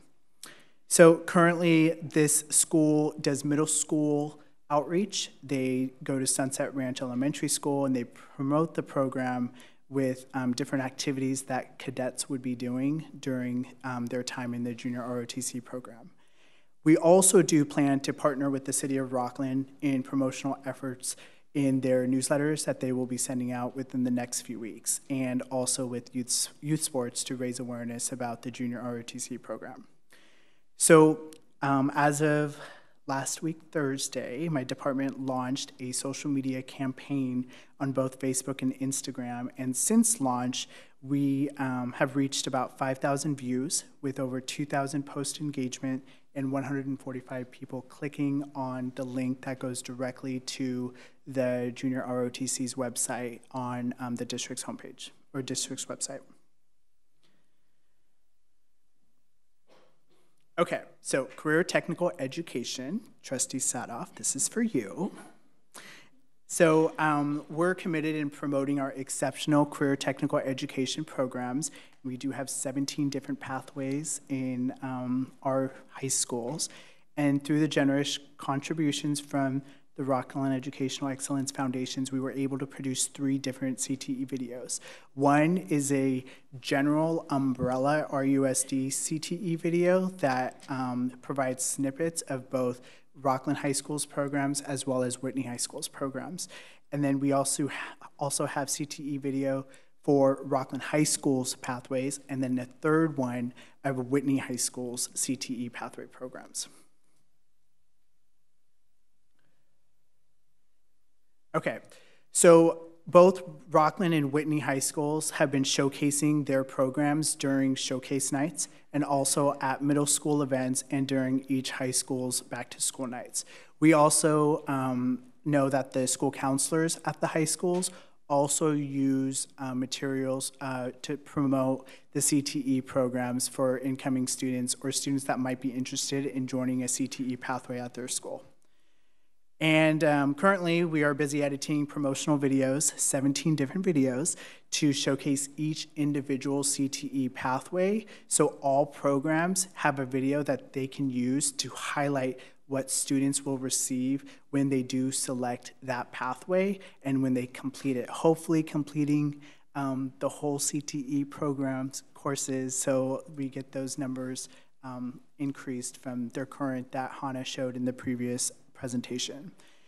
The last portion um, of this large CTE project should be completed um, by the last day of school.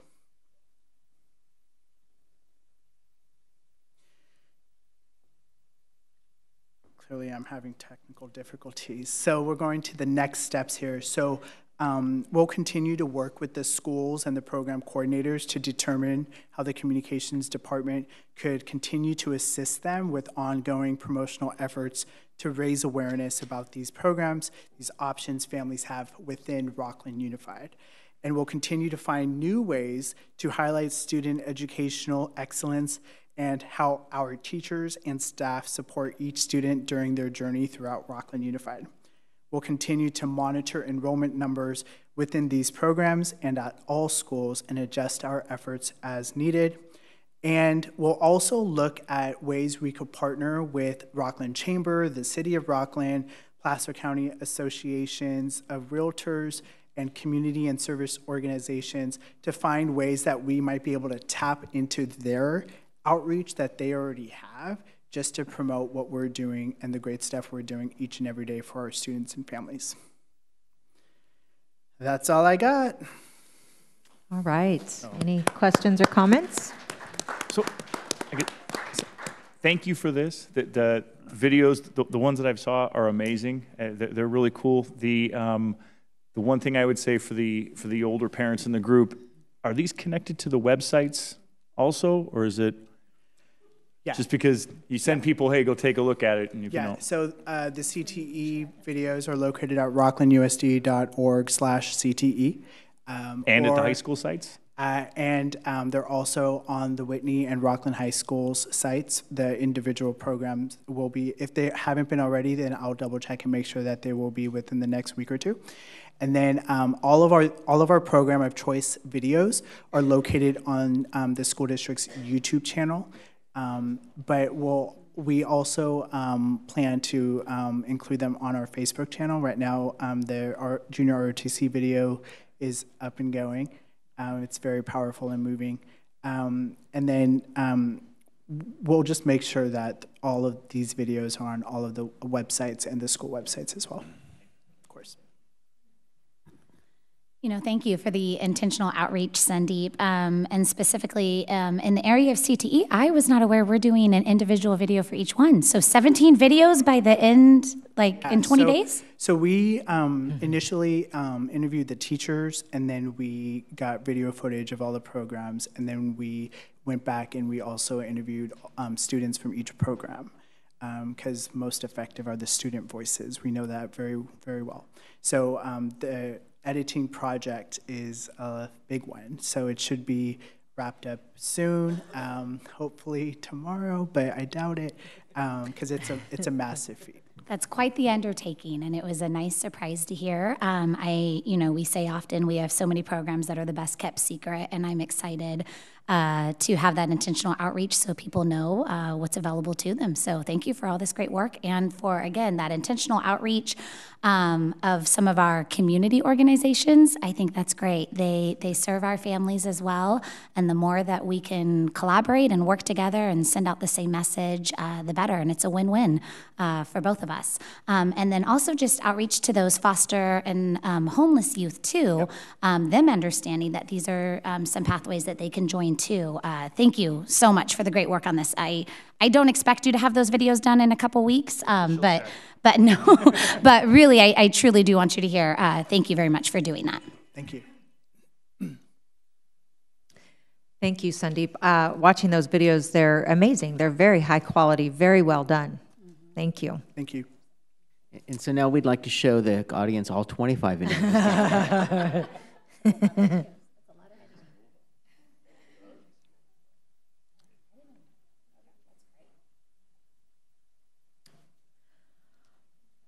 All right, we have now come to the part you've all been waiting for, public comments.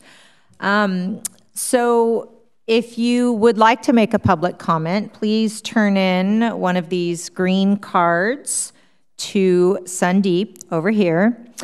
Um, When you come up to the podium, when I've called you up to the podium, please state your full name, the city you live in, and the school your children attend. All comments must be addressed to the board. Please make sure you're facing the board and addressing the board. The first 10 people, and we have quite a few comments tonight, so the first 10 people will be allowed three minutes each, and each person after that will be given one minute per person um, on the item they're speaking on. The board is not permitted to deliberate or take action on non-agenda items, but may refer the matter to a staff member for follow-up.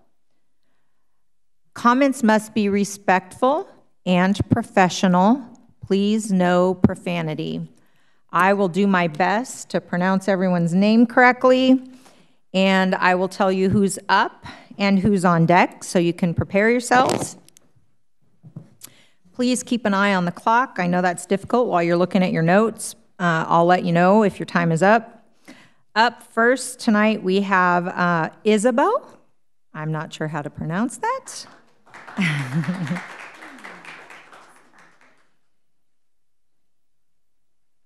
On deck, sorry, is Ava Messing.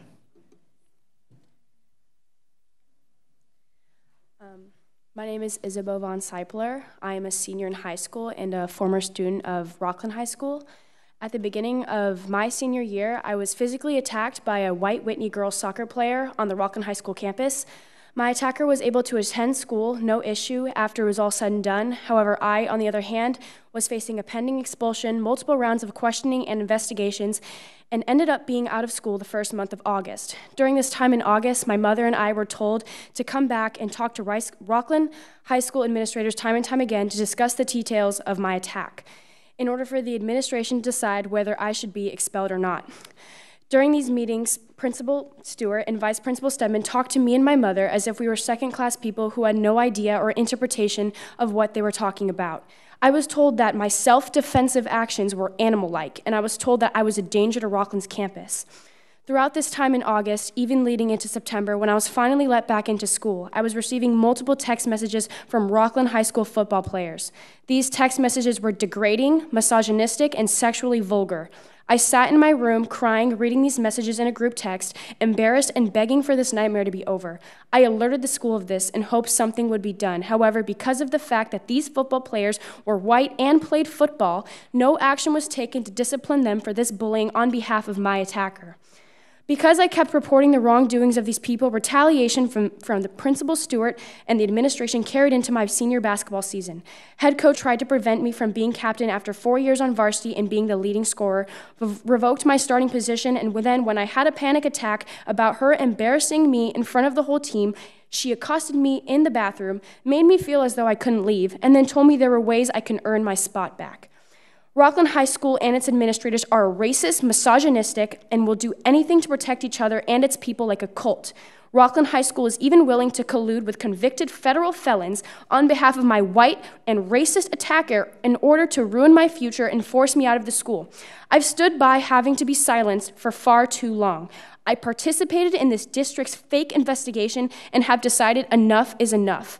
You all have sat by and let this happen. Just to be clear, this is only the tip of the iceberg of what I can say in the amount of time given to me today. There will be more Rocklin High School girls coming forward, and the truth will be out. Thank you.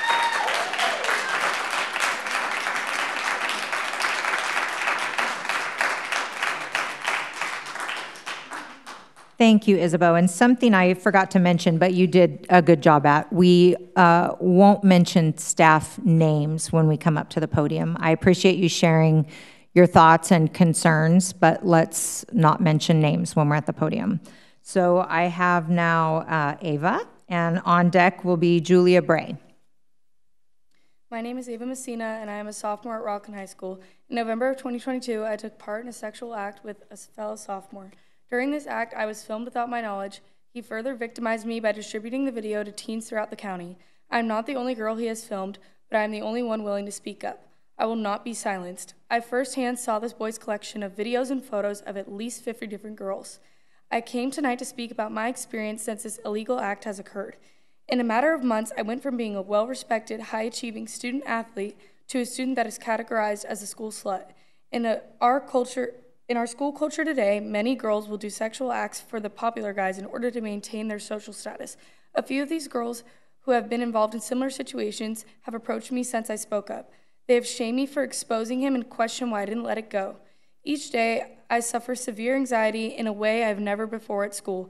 I live in anger due to lack of justice. Many of the outrageous rumors are often started by his friends in order to try and gain vengeance. Every day since I spoke up, I have felt silenced at my school.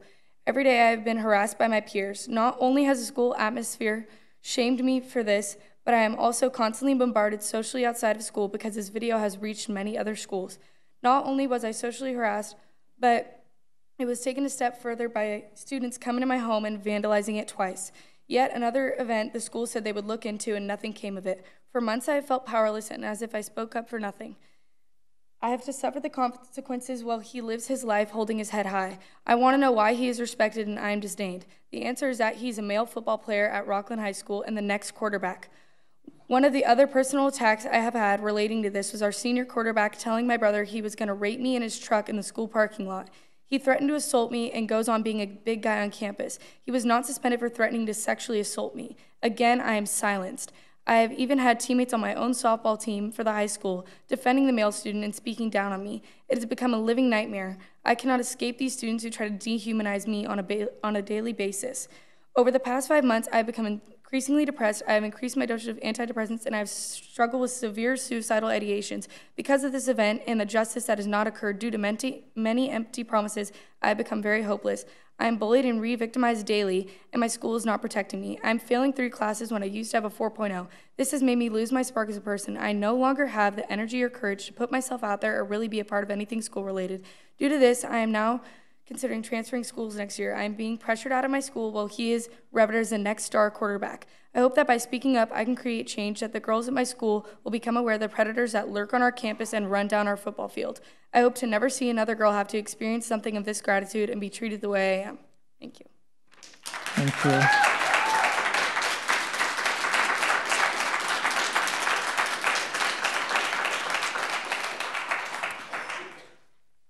Up now is Julia, and next will be Mia Messing. Um, my name is Julia Bray, and I attend Rocklin High School, and I live in Rocklin. Hi, my name is Julia Bray. I'm Ava's best friend. I'd like to share my perspective on the situation regarding Ava to you all. I will start by the fact that almost every staff member watches many girls in the similar situations to Ava's get glared at and made fun of at school, over social media, and even to their faces, but continue to put it aside.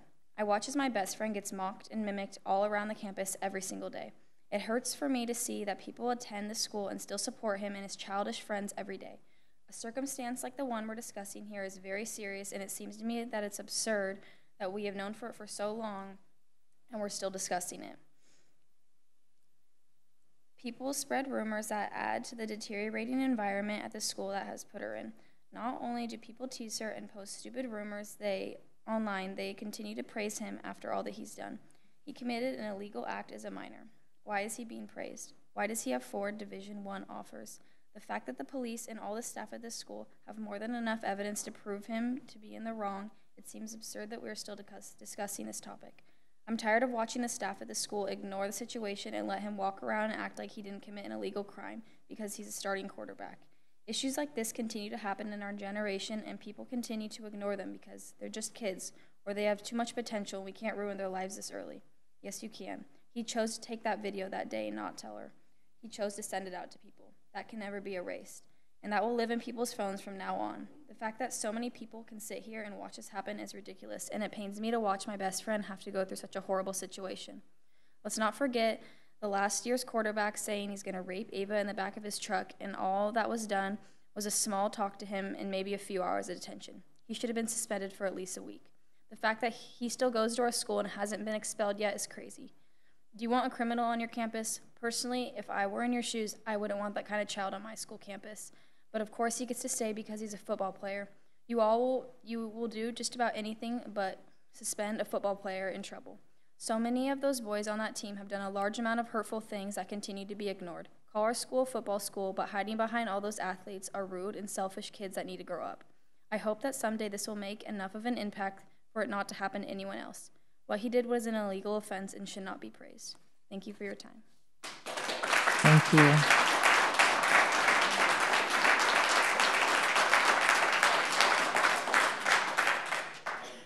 Is that right, Mia? Am I saying that right?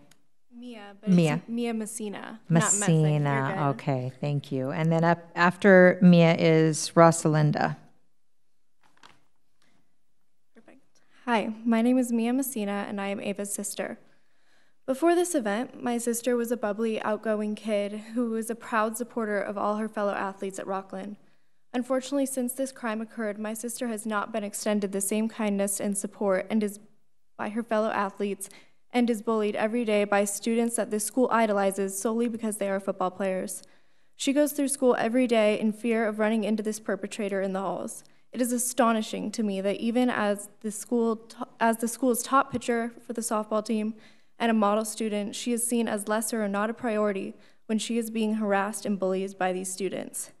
Clearly stated in California's Education Code 32261, the legislature hereby recognizes that all pupils enrolled in California state public schools have the inalienable right to attend classes on school campuses that are safe, secure, and peaceful, and my sister is not receiving that. Why is this individual still able to walk around on the same campus as my sister is baffling. And to allow this to continue is not only a disgusting misuse of power by Rocklin High School, but a violation of my sister's rights to a fair public education, and we will not stand by and watch this happen. Thank you.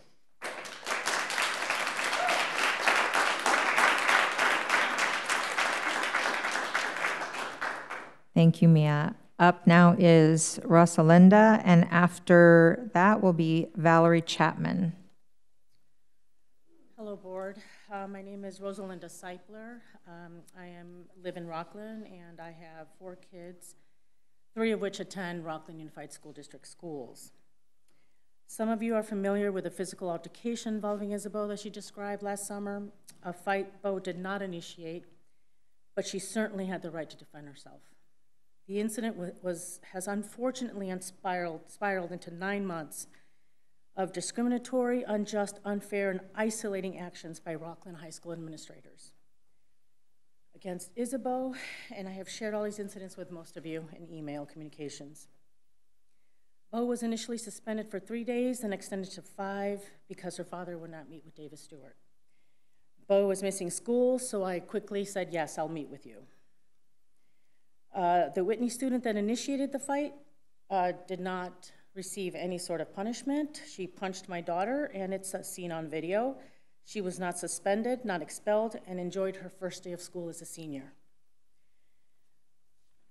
Uh, and before I even had the first meeting with the Rocklin High School administrator, um, there were email and phone communications going on with the principal of Rocklin High School, and it was the parent of the other student that attends Whitney High School. I was assured in a meeting on September 30th that that would never happen. However, I have the email, and that person was CC'd in that email.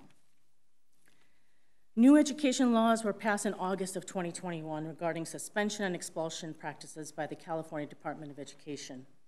An abundance of research has shown time and time again suspensions and expulsions do more damage than good, especially among marginalized groups such as African American students and Latino students like my daughter. If that were not enough on Bo's plate, incidents of harassment, cyberbullying, social media on and off campus were taking place and targeting Isabeau. And these were by other Rocklin Unified School District students. All these incidents were reported to both Whitney and Rocklin High School administrators. Through the Catapult reporting system, emails and phone calls and videos were uploaded. We found out very quickly the athletic code of conduct only applies to certain RUSD students. RHS football players are exempt. RUSD zero tolerance bullying policies also only pertain to certain students. RHS administrators shielded preferential students, especially male athletes. This is a dangerous practice by RHS administrators, creates a toxic culture that does not protect our female Rocklin High School students. Aside from managing school operations and staff, I feel principals' role is to counsel students provide a safe and productive learning environment. This has not happened at Rocklin High School. Uh, our daughters are not safe, and both of mine have been removed from Rocklin. Your role as elected school board members is to ensure that the school district is responsive to the values, beliefs, and priorities of our community. And I am a part of this community as an American of Mexican heritage. The equal and just treatment of all Rocklin under the leadership of RHS administrators. Board members, you are advocates for all of our students. You are elected to represent the interests of school children and to speak out on behalf of those children in your community. I have reached out to all of you, and you all have been silent.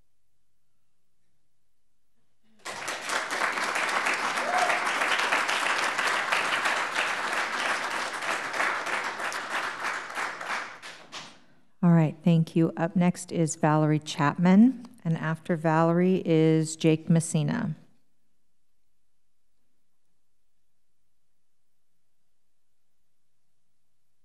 My name is Valerie Chapman. My daughter, Ava Messina, is a sophomore at Rocklin High School.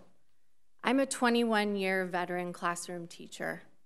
And tonight, when I sit in a boardroom, I think about how much the system that I've dedicated my life to as a public teacher has failed my child. And it disgusts me that every day when I get up to drive to North Highlands to teach children and give my best, that I feel more safe and secure than my own daughter does at Rocklin High School. It's wrong, and I can't be quiet anymore.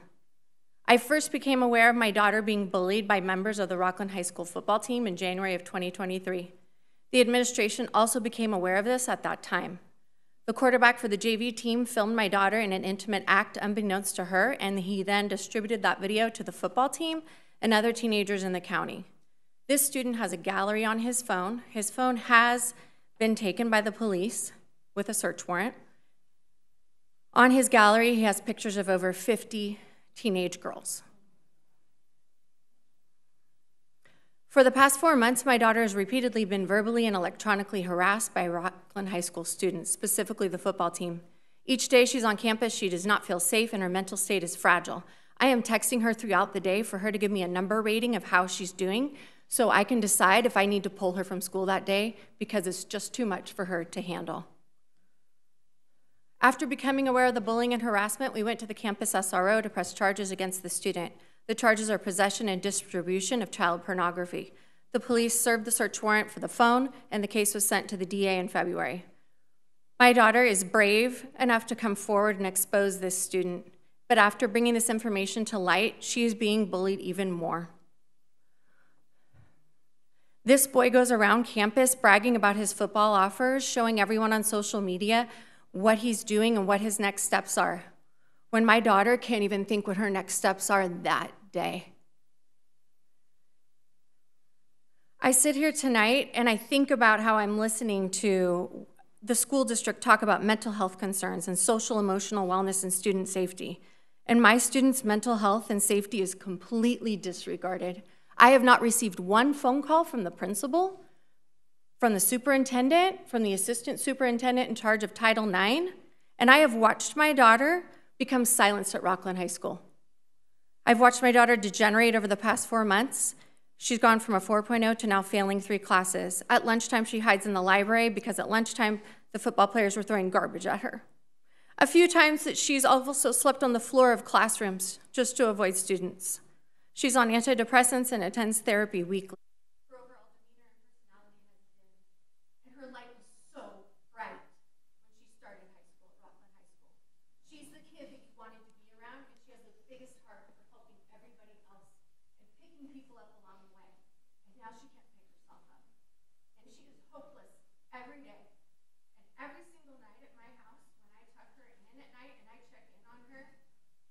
I worry that it might be the last day that I see my daughter alive. And yet again, we have 20 days left in the school year, and I've received no messaging that my daughter will ever be able to return to Rocklin High School and feel safe. So I have to put an action plan in now, is where can she be safe? Where can I transfer her to? Because in my own community, where I pay taxes, where I give my time, and where I reside, and where I strategically moved to give my children an excellent education and for safety, it's not happening for her. Thank you, Valerie. Thank you. Thank you.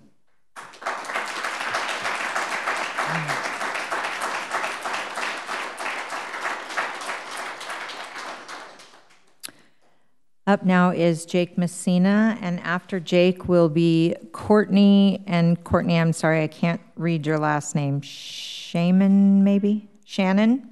Courtney Shannon. Good evening. My name is Jake Messina. My daughter is Ava. I live in Rocklin. I'm an employee of the Roseville Joint Union High School District. I'm a 24 year veteran of education. I'm a 24 year veteran of uh, varsity and college football coaching, and I'm currently a teacher and the head football coach at Oakmont High School. My daughter was filmed without her consent during an intimate encounter with a Rocklin football player. That same player has sent many images out, including to some of my own players. She's been bullied and harassed. Her mother's house has been vandalized and ultimately has been made the scapegoat, the scapegoat in the possible demise of the Rocklin football star. Even some of her own female teammates have joined the fray simply to stay in the good graces of the football players, as pathetic as that is.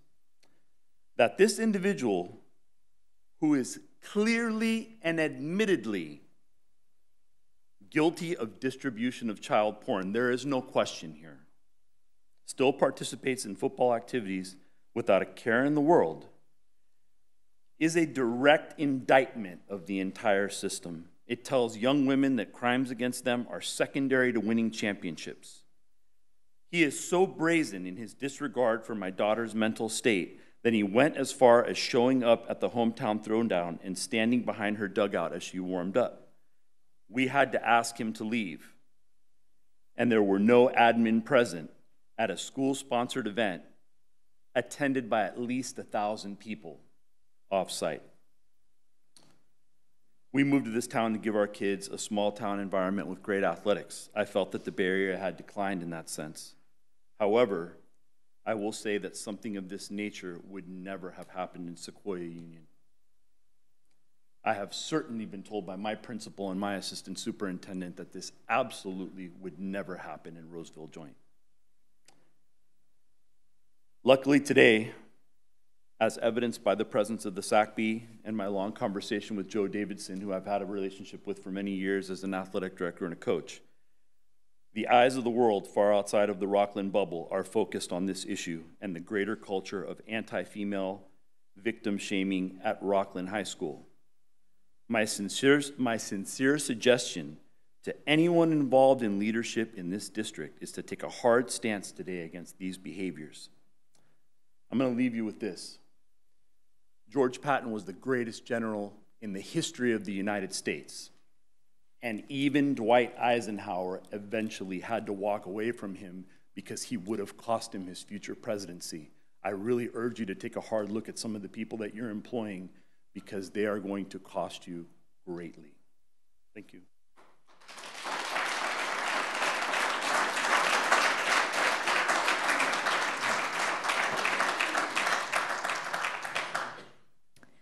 Up now is Courtney, and after Courtney will be Alicia Watkins. Hello, everyone. My name is Courtney Shannon, and I have right now four daughters that attend your guys' schools of Rocklin High School, Springview Middle School, and Rocklin Elementary. My husband and I dreamed of Rocklin 10 years ago, and we made that dream possible two years ago, and we regret it. We have moved here and had nothing but issues with your high school. Nothing. It has been the worst. And I feel so disconnected and so scared for my children that my children will not go to Rocklin. They will be transferred to Whitney or something else, and it will be approved. I pay my tax dollars and own my house here on a dream that we regret, and it's, it's sad. And I've met these parents and I see what they've gone through and I feel for them. Unfortunately, they have it way worse than mine, and I'm here today just as to be not only an advocate for them, but an advocate for my daughter. Because unfortunately, Rocklin's staff, administration, and athletics department is a cult.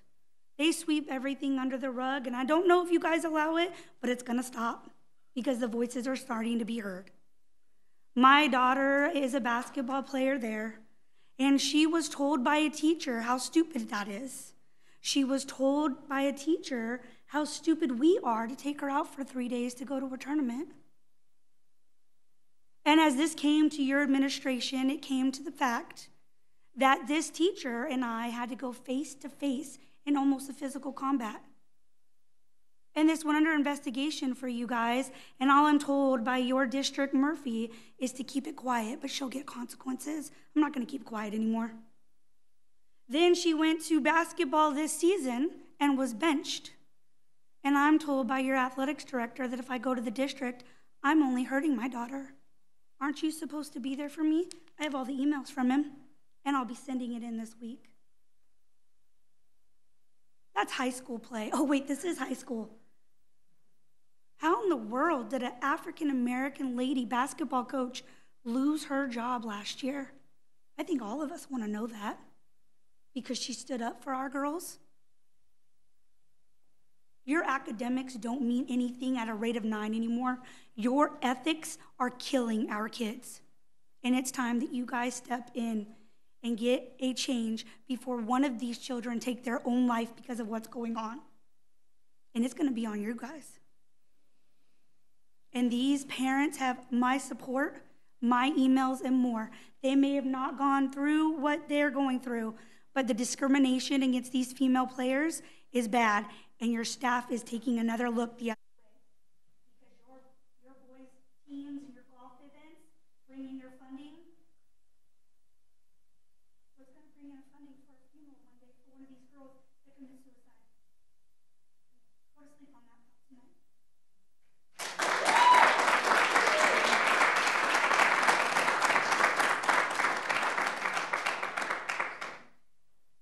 Alicia Watkins, and after Alicia will be Wendy Beal.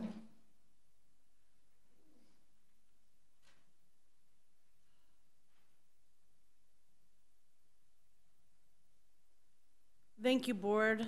Thank you, everyone who appeared. My name is Alicia Watkins. This is the speech I had prepared. I put a lot of work into my speeches. I am a survivor of childhood sexual abuse. I've survived two suicide attempts. I've survived drug use. I've survived bad relationships. I put my own father in prison. So when I can tell you I can barely hang on to my emotions because there are teenage girls in this audience who have been abused, and maybe some of you knew about it, and coaches knew, and teachers knew. And there's a representative from the Moms of Liberty in the back of this room who love, love, loves Jim Jordan, who's affecting our schools and help put some of you on this board.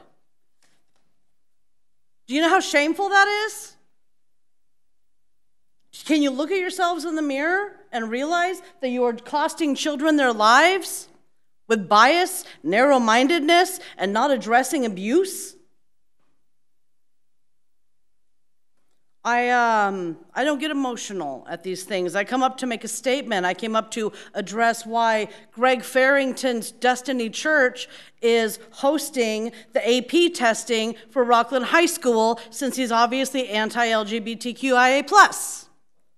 I came up here to address why certain people from his church go onto your high school campuses, but the landing spot was kicked off of campuses because apparently it's too controversial to have a queer pastor be a peer for queer children. That's what the speech was. And then I hear about this. I hear about this hashtag Me Too infinity. My God, are you serious? So um, I run some social media sites called the Voices of Placer across Facebook and Instagram and Twitter. If you want to be heard, because you're being ignored by every fucking person that is supposed Language, to be listening to you. Language, please. I'm sorry. I'm sorry. I apologize. I I am trying so hard not to cry. But if you want to be heard, come to my site message me. We will work on getting you heard if the people who are supposed to be taking the reports and addressing this are not listening and are not doing anything because their football team is more important than the lives of young women. It's 2023, and we're dealing with this in America.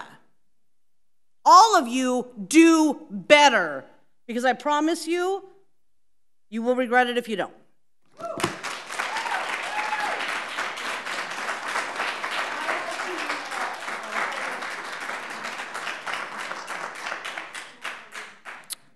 So now is Wendy Beal, and Wendy is our 10th speaker. So after Wendy, it will be one minute per person, and next will be Jesse Nibley. Can I um, just ask the board, because I am not a resident of this city, so I'd like to give my three minutes to a resident, and I'll just take a minute. Is that possible to do? You want to just have the next person go? We can have the next person go. Jesse Perfect. Nibley, go ahead and come up. Hmm?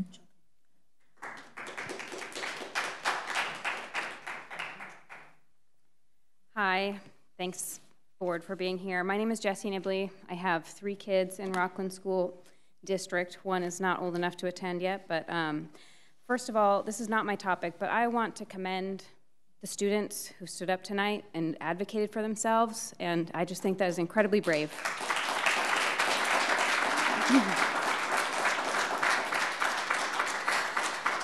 I don't want to detract from anything that they're saying, um, but I want to speak on something different. Um, that is that I am frustrated and disturbed by this board's decision to reject the Amplify Science curriculum over the unanimous recommendation by teachers. The teachers in this district are well qualified. I trust them with my children's safety and well being. And clearly, since I send them to school every single day, I trust them with my children's academic education. I hope I can continue to do that at the high school level. I'm a little nervous after hearing all of that. Um, I trust the teachers to decide, with a period for parent review, what curriculum to use in their classrooms. And that is what happened here. There was a pilot program, a period for parent comments, and then a unanimous recommendation by those teachers. Um, all of the comments submitted by parents overwhelmingly favored adoption, and the decision to just not adopt a curriculum at all because, in the board's estimation, parents weren't involved enough is just inconsistent to the point of absurdity because now what you'll have instead of a unified curriculum that parents can examine, you'll have individual teachers putting together their own curricula piecemeal and using their own time and probably funds to do it. Transparency between schools and parents is better served by adopting an actual curriculum. I watched the recording of the last meeting where I saw this board rely on the comments of just four people in deciding to throw out the years long efforts of dozens of district staff and teachers to select a modern science curriculum. At any point in this process, the board could have advocated for more parent involvement instead of waiting until decision time and then throwing away all of that effort. Communications from the district told parents that this curriculum was being piloted, that comments would be solicited, and that this board would vote last meeting on whether to adopt the curriculum, presumably on the basis of those comments and that pilot program and the teacher recommendations. That pilot program and the recommendations and the comments favored adoption, and yet this board came in and made a last minute change with no warning to parents. That felt like a bait and switch. It is not transparency, it does not foster trust. I serve on the PTC board at my children's school, and we're trying to raise funds for supplemental science education. Mystery science is not a, an actual curriculum. Oh. Thank you, Jesse.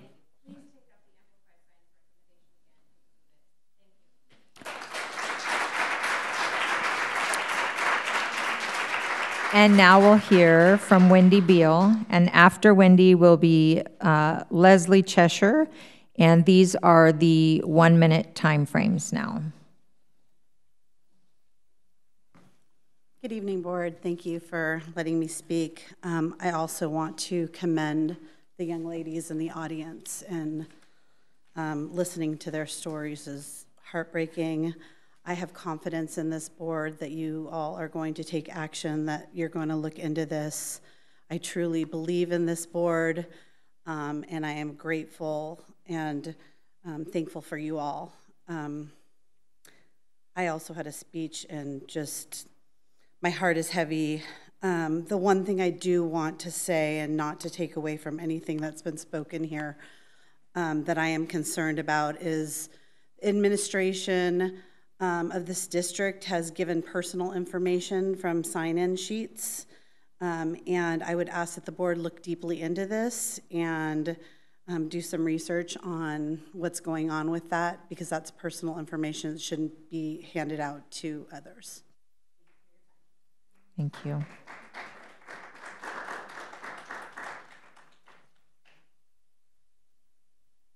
So now is Leslie, and after Leslie will be Allison Abbott.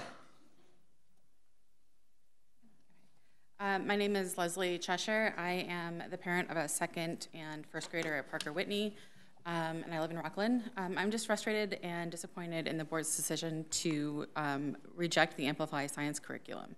Um, the teachers who unanimously voted for this curriculum um, had, had, unanim- sorry, had unanimously voted for this curriculum. Um, in the last board meeting, several things were stated as the reason why this curriculum was voted down. One of the reasons for the decision was lack of parent involvement. It seems to me, sitting here, that there's a lot of parent involvement, not necessarily for our program, but for everything going on in Rocklin. Um, this decision um, was a lack of a survey and disinterest in the parents uh, because these parents, not because they have disinterest, but because they trust their teachers, because they have that respect. And when you hire somebody, you expect them to be an expert in their field. And that's what these teachers have done. Um, I believe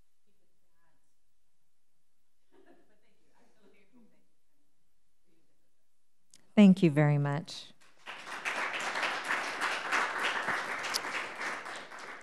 Up now is Allison Abbott. Okay. So then we will move to Sierra Ton, and after Sierra will be Michael Maldonado.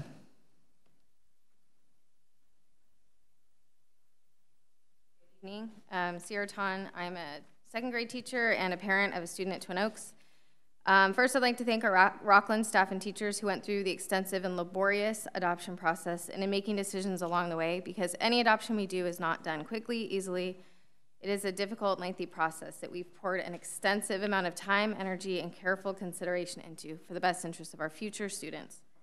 As a teacher who piloted this curriculum in 2020, I can say that despite our unfortunate interruption of COVID, this was one I could not wait to implement. I continued to modify the curriculum for use during distance learning and use the piloting kit over the past many years um, with my students, and it's been amazing to see them get excited about science and demonstrate strong critical thinking and scientific skills. Amplify simply outscored the other curriculum that was previewed, and the second choice was far inferior to this one. Unfortunately, what happened during the last board meeting was that we were removed, we as teachers were removed from the community, and it was a cancellation.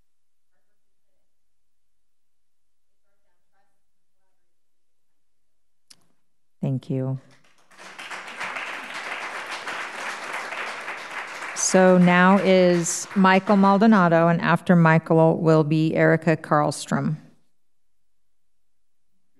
President, Board of Trustees, Superintendent Stock. My name is Michael Maldonado, Placer County resident 25 years, Rocklin resident since 09. I'm here tonight because I put in a PRA which came back with minimal results, even though it was very specific. However, there was one outstanding item in the PRA reply that I take issue with. There was a breach of trust with Associate Superintendent Bill McDonald. In an email which was not given in full, he gave Casey Tinnen information on another member of our community off the sign in sheet. I quote Here's the name of the man who spoke at our board meeting. He wrote down the title of the Baptist preacher on the sign in sheet. He was unacceptable in his response. The associate superintendent should not be doxing anybody. Would it be okay if someone was to take a picture of all the sign in sheets while they were standing there and use it against them? This is supposed to be a safe space for all to speak. This has caused distrust with the parents in the district. Tonight, I am asking you to help ensure that this never happens again. Thank you. Thank you.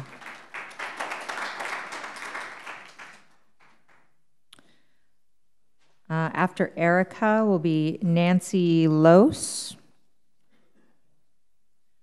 Good evening, board members. My name is Erica Karlstrom. I am also a um, teacher in the Rocklin Unified School District, um, and I would like to continue reading the letter um, that Sierra Ton had previously written. I personally wrote to Amplify and received a letter from the CEO. I've emailed you each a copy of this letter. In short, Amplify Science does not teach anything resembling CRT or SEL or other divisive topics. Amplify Science is a K 8 core curriculum that blends hands on investigations, literacy rich activities, and interactive digital tools to empower students to think, read, write, and argue like real scientists and engineers. It is adopted in all 50 states and used by more than 5 million students in communities of all political persuasions. It has been embraced by states and school districts due to the high quality of this program. I would ask you to please reconsider your decision um, and ask that we should start this process over, that Amplify should be put back on the table so parents and teachers can review it once more. As a parent in the district,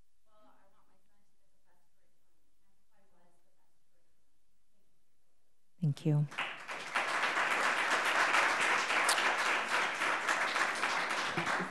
Now we'll hear from Nancy, and after Nancy is Kurt Weidman.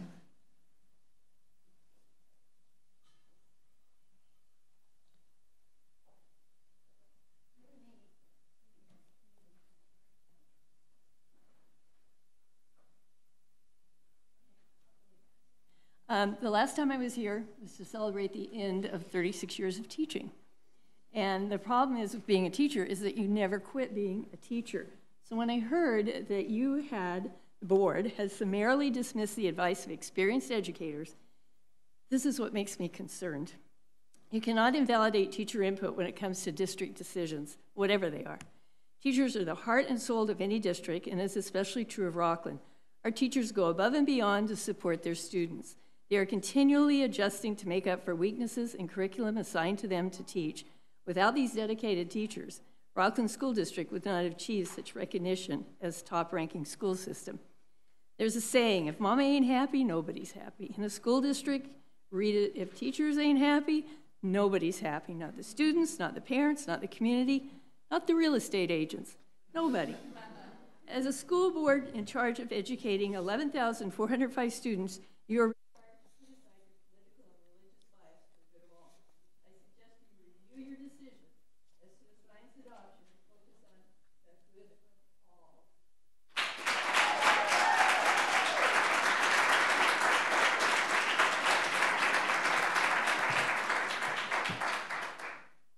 Thank you, Nancy. After Kurt will be Jen Brookover. Hello, Board uh, and Superintendent.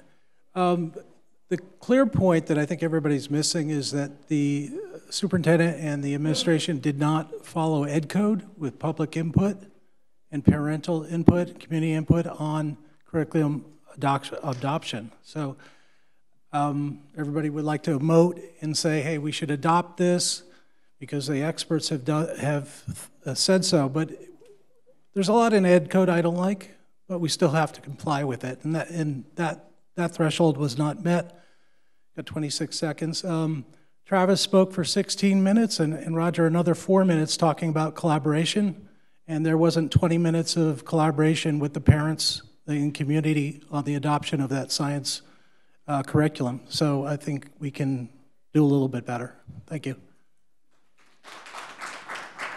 Thank you, Kurt. Up next is Jen Brookover, and after Jen will be Carrie Cardoso.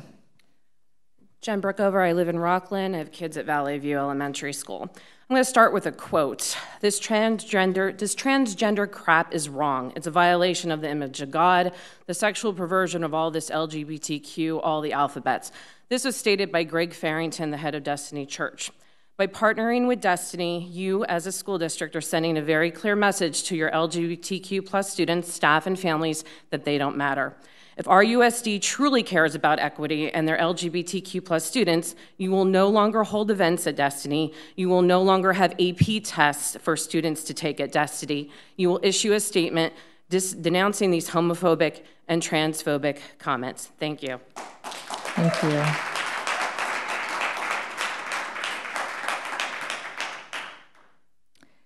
After Carrie will be Shannon Cantanella. Carrie Cardoso. I uh, proudly have three children um, enrolled in RUSD, specifically Quarry Trail Elementary. I also have not one, not two, but three family members that are currently employees. Um, I work for a company that we actually have been on campus at Valley View for the past few weeks doing a six week PE program teaching dance. So I'm highly dedicated to this district. I appreciate everything that Ed Services has done to create fabulous education for my children, the teachers that I trust. Um, I'm going to start by saying I'm very proud of these girls. I too am a victim 15 years old in high school that I had to face the boy every single day, but I'm here to live and I'm here to say that this is an opportunity that parents can speak up, that individuals can step up, and we don't have to do this anymore. I survived barely, but I'm here and I have my three children, and I'm very thankful for the move that we did to come here.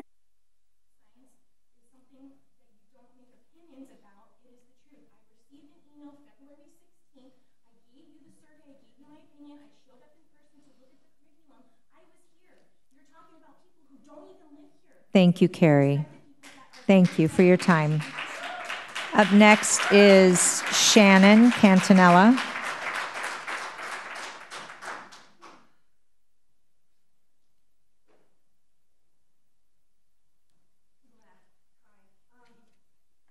Happy Teacher Appreciation Week. Um, I really love our teachers at our school. My name's Shannon, and I'm a Rocklin Unified parent, and um, I'm really concerned, and tonight just triple triples that down on what's gone down. Um, I'm so proud and impressed that those students got up here and told their story, and their parents were here and gave you the full picture. I really want to see you do something about it. I've got 30 seconds. I was here to talk about science um, in support of science and tell you that I feel like you, the board has betrayed the stakeholders here. You've got a bunch of people here who are dedicated parents who do everything, who sit on your all your LCAPs, all your site councils, all your PTCs, and they all wrote you emails and you all dismissed them. With the last 10 seconds, what I want to say is I know that there's also a history of dismissal of things that went down at Whitney and the football team. I'd really like for you guys to get a handle on that. Thank you, Shannon. Okay, up next is Gemma Marizo, and after Gemma will be Di- Diane Ancona. evening. Um, I am a mom of three, a Granite Oaks mom, and a Breen mom. And um, I'm here to talk about science, but it is very hard to focus on science when some very real things entered this room. Um, I hope it is followed up on. I am petrified to send my daughter to Rocklin High School. That was scary. So, huh, there's been a lot of talk about valuing Rocklin parent voices. I am the parent voice that is sitting on LCAP. I am on Roger Stock's advisory committee. I'm on PTCs. I am the parent showing up, and I weighed in on this curriculum. I know you want transparency. That's a big, uh, something I hear come from you guys regularly. So we're asking for a little transparency too. I'm requesting more transparency around the decision about why you didn't pass this curriculum. I know you want to hear the parent voices, but what was wrong with the curriculum? Nobody mentioned the curriculum. Additionally, what are the costs associated with that lengthy review process that so many educators were a part of? What are the costs? What's the loss to Rocklin Unified School District? Parents need to know. I don't understand denying a fully vetted curriculum that was absolutely open to the public, had positive feedback, and was unanimously approved by Rocklin Unified teachers and doctoral level educators. This decision feels political and is not in the best interest of the students. Thank you, Gemma. After Diane will be Rose Sponder. I'm Diane Ancona. I have two children in the district at Granite Oaks and Rocklin, and I'm glad I'm reading a letter on behalf of a teacher because of everything we heard tonight. I'm not sure I would be able to put my thoughts together. I'm reading this on behalf of Adrienne Takla. She's a 20-year student and a current Rocklin High School teacher. If you are a parent of children who attend any Rocklin Unified Schools, you may already know, but I will make this clear, a great inequity in the science curriculums between elementary schools exist. That is why I was thrilled when the district had found such a quality curriculum for all of its elementary schools. This curriculum comes from world-renowned UC Berkeley and Lawrence Hall of Science, which should be thrilling to anyone who claims to value quality education and has the interest of all district children in mind. It is also in line with the requirements of the state. A curriculum that includes engaging, hands-on learning, as this curriculum does, is what my children and all other RUSD children need and deserve, no matter what school they attend. I expect the curriculum to be current and reflective of the world that our kids live in. I also expect it to be scholarly, yet accessible to my Thank you, Diane. Thank you very much. After Rose will be T.S. Hamilton. I'm Rose Sponder. I live in Rocklin. I have children at Whitney High School and Rocklin High School. Um, I can say that from what I know from my own Rocklin student, um, the testimony you heard from students at Rocklin is not, um, they're not alone. Um, disrespecting girls at Rocklin happens often. Please take it seriously. The students are asking you to. Um, very briefly, I want to echo a lot of the comments about the science curriculum not being adopted. There was a lot of effort by parents and teachers, um, people who are academic professionals, to vet this curriculum. They said it was the best curriculum. It had been uh, piloted for younger classes. Why aren't we adopting it? Um, you replaced your feelings with the process that was in place, and you did betray us, and you have um, I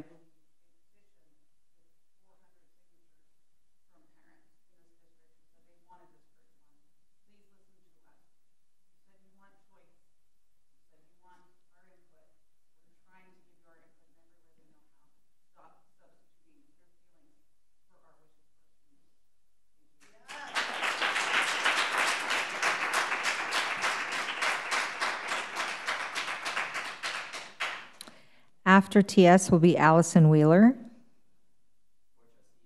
Superintendent Stock, thank you very much for the opportunity. Uh, real quickly, uh, more power to those young ladies, those mothers, those families for having the courage to stand up here this evening. Um, as a learning and development professional, professional educator, and a uh, parent of uh, two Parker Whitney students, um, I'm deeply concerned with this board's offhand dismissal of the Amplified Science program. Uh, famously or infamously, our country continues to lack, uh, lag behind the rest of the world in language arts and mathematics, and I would say extend that to all of education and science uh, notwithstanding. And uh, I would just seriously ask this board to reconsider, uh, to, to reevaluate their adoption of the Amplified Science program. Thank you. Thank you.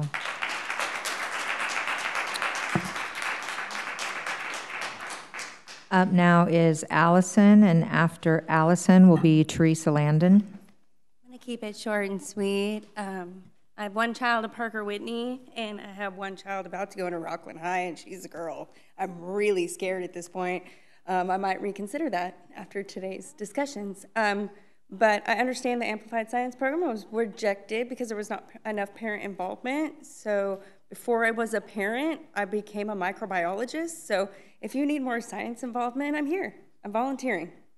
I will be part of the committee. I will review every single science program you have, if that's what it takes, because science belongs in every single grade forever. There are not enough scientists out there.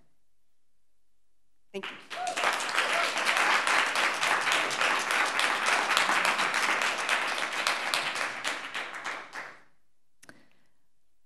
Now is Teresa Landon, and after Teresa will be Matthew Oliver. I, um, I had put in to speak on the last agenda item, and I wasn't called up, and I, so I was wondering if I get three minutes I for that. I am actually so sorry that was not um, noticed. What is the protocol for that? If the board wishes, it can grant three minutes because it was on the previous previous item? It was just on the communications. I see on here now. I'm sorry it was missed. Yeah. Yeah, so yeah, no, on no 10.2, you may have three minutes. Okay, thank you. Um, so on the last subject, going back to just the discussion on um, marketing to attract families, that's what I wanted to talk about and just share my story about how I came to the schools here in Rocklin. Um, it was literally 10 years ago, almost to the week, that it was about time for open houses and we were considering buying a home um, here. And so we went to Sunset Ranch and we checked it out and we looked at the website. Um, and the reason, you know, the one thing I think set it apart and helped me decide Rocklin over um, Roseville City School District was the science. Um, I walked into the room, the lab, which was actually um, staffed by um, trustee member Counter's wife, um, who used to work there, and um, that's what set it apart. That's why we came. That's what attracted me um, to this school district. Um, so I was really sad to see that you know my fifth grade daughter now has no science curriculum. Um, those are the things parents look for. Um, all of these programs that were amazing, and I just feel so disappointed that the amazing work that Sandeep does to attract people, that the staff has done to attract people. Um, we had STEM days when um, Mr. McDonald was our principal. Um, and now we've gone and everything's just dissolved. And so, in terms of attracting families, we need a solid, good science curriculum. Um, so, that was my discussion on attracting families related to science, and that, you know, if we can't do the basics, um, all the extra frills aren't going to matter um, if we can't, you know, give fifth graders, fourth graders, third graders, thousands of children access to good quality science like they've had in the past, and I just want that to continue and come back. So I'd ask that you'd reconsider um, your vote and that you would include, you know, just adopt the national curriculum. That it's all across. That was an option. You didn't consider any options, and that was really disappointing. Now, on to my one minute. Because of all the stuff that happened here, um, I wasn't really even going to say much, but just to confirm that this is a systemic issue that I really hope you address. Um, I won't read names, but this was an email from 2018 um, that took place at Whitney High School. Dear Mr. So and so, a staff member, first off, I want to apologize again for my involvement in all of this and my lack of total honesty when I first spoke with you. I also want to apologize to blank for any embarrassment or hardship this has caused her. Over the summer, myself and two of my friends were hanging out. Um, we knew this girl. He was talking to her, and she invited us over to her house to have sex. So and so videotaped me having sex with so and so and sent me the video. I do not have Snapchat, and my mom keeps my Instagram open on her phone, as well as she has apps on my phone to see my messages. So I wanted to be cool, and I sent it to my friend.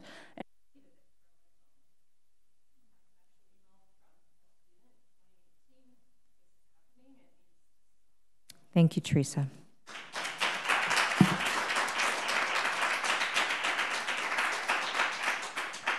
Up next is Matthew Oliver, and after Matthew will be Amanda Dixon.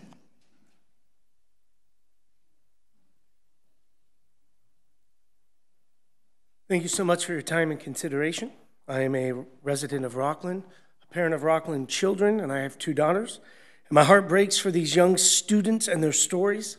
I applaud each and every one of these girls for their bravery to stand up and speak. And I am thankful that we have a board that cares and is willing to make strong stands and will take decisive action. Our schools must be safe places for all. And I am looking forward to hearing the findings and the actions to keep all students safe. We have heard today from parents and that parents care and they should be heard. And then there are others who are saying, well, let's silence the voice of those parents. I'm glad that these sessions are recorded because, in regards to the science curriculum and any curriculum moving forward, you made it crystal clear time and time again that you want parent involvement. A requirement of the state in Section Code 6002 shall promote parents' involvement in new curriculum. And we were told last week that there was you made it clear it was not random and arbitrary. If there's great curriculum, then let's get those parents. Thank you, Matthew. And now Amanda Dixon.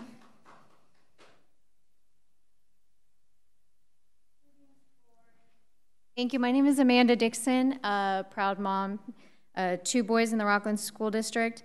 Uh, I came here for a different reason to thank you for helping me on a personal note, uh, but pertaining to the science topic. after some quick research pursuant to the Educational Code, which Matthew just pointed out, Educational Code Section 60002, each district board shall provide for substantial teacher involvement in the selection of instructional materials and shall promote the involvement of parents and other members of the community in the selection of instructional materials. If parents are asking why this happened, thank you for following the law. You did, you did your job. Thank you.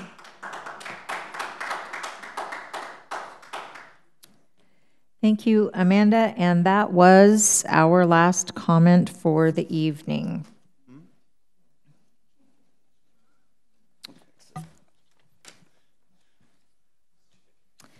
Now on to pending agenda items. Trustees, do you have any items to be placed on the pending agenda? Yes, I would like to propose an item to go on to next meeting's agenda I would envision it to go after the agenda item, at some point after the agenda item where we discuss parent involvement policy because that was added to the agenda at the last meeting.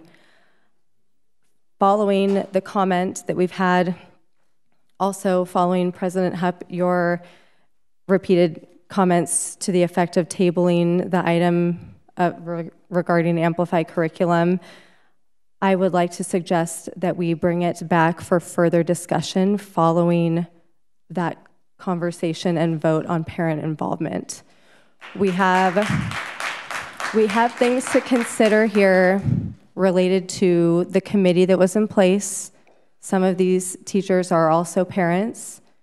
we obviously need to discuss parent involvement, and so we need to see where it meets it, where it doesn't. We saw after the last meeting that we have the ability to take rapid action to increase parent involvement in the form of sending out physical postcards related to the high school grade science curriculum.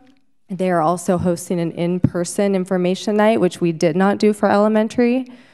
One thing that I have learned in the conversations following the meeting is that increased parent outreach and involvement is well received by the community. What I have not gathered is that because parents did not fill out the comment form, that that was a rejection of the curriculum and the teacher's recommendation. And I would like to see further conversation if um, I have support on the board for that.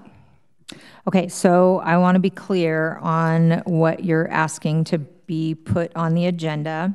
I, I think there were two separate things. Um, it sounds like you would like to have an agenda item to discuss parent involvement in uh, curriculum selection. So we already have that added. So we Oh, will see. be doing that. That was added as a future agenda item last time. So pending that, because we kind of moved the goalposts last time. We had the process, we talked about it for these other grades. We're making it work for them. We decided we weren't going to make it work for this, but we also have more information. And it seems that it would make sense that once we formulate our approach to this, that then we could consider the work of the teachers that, to one person's question, has cost the district upwards of $25,000 already. And I know that we have talked about costs, so it's a consideration.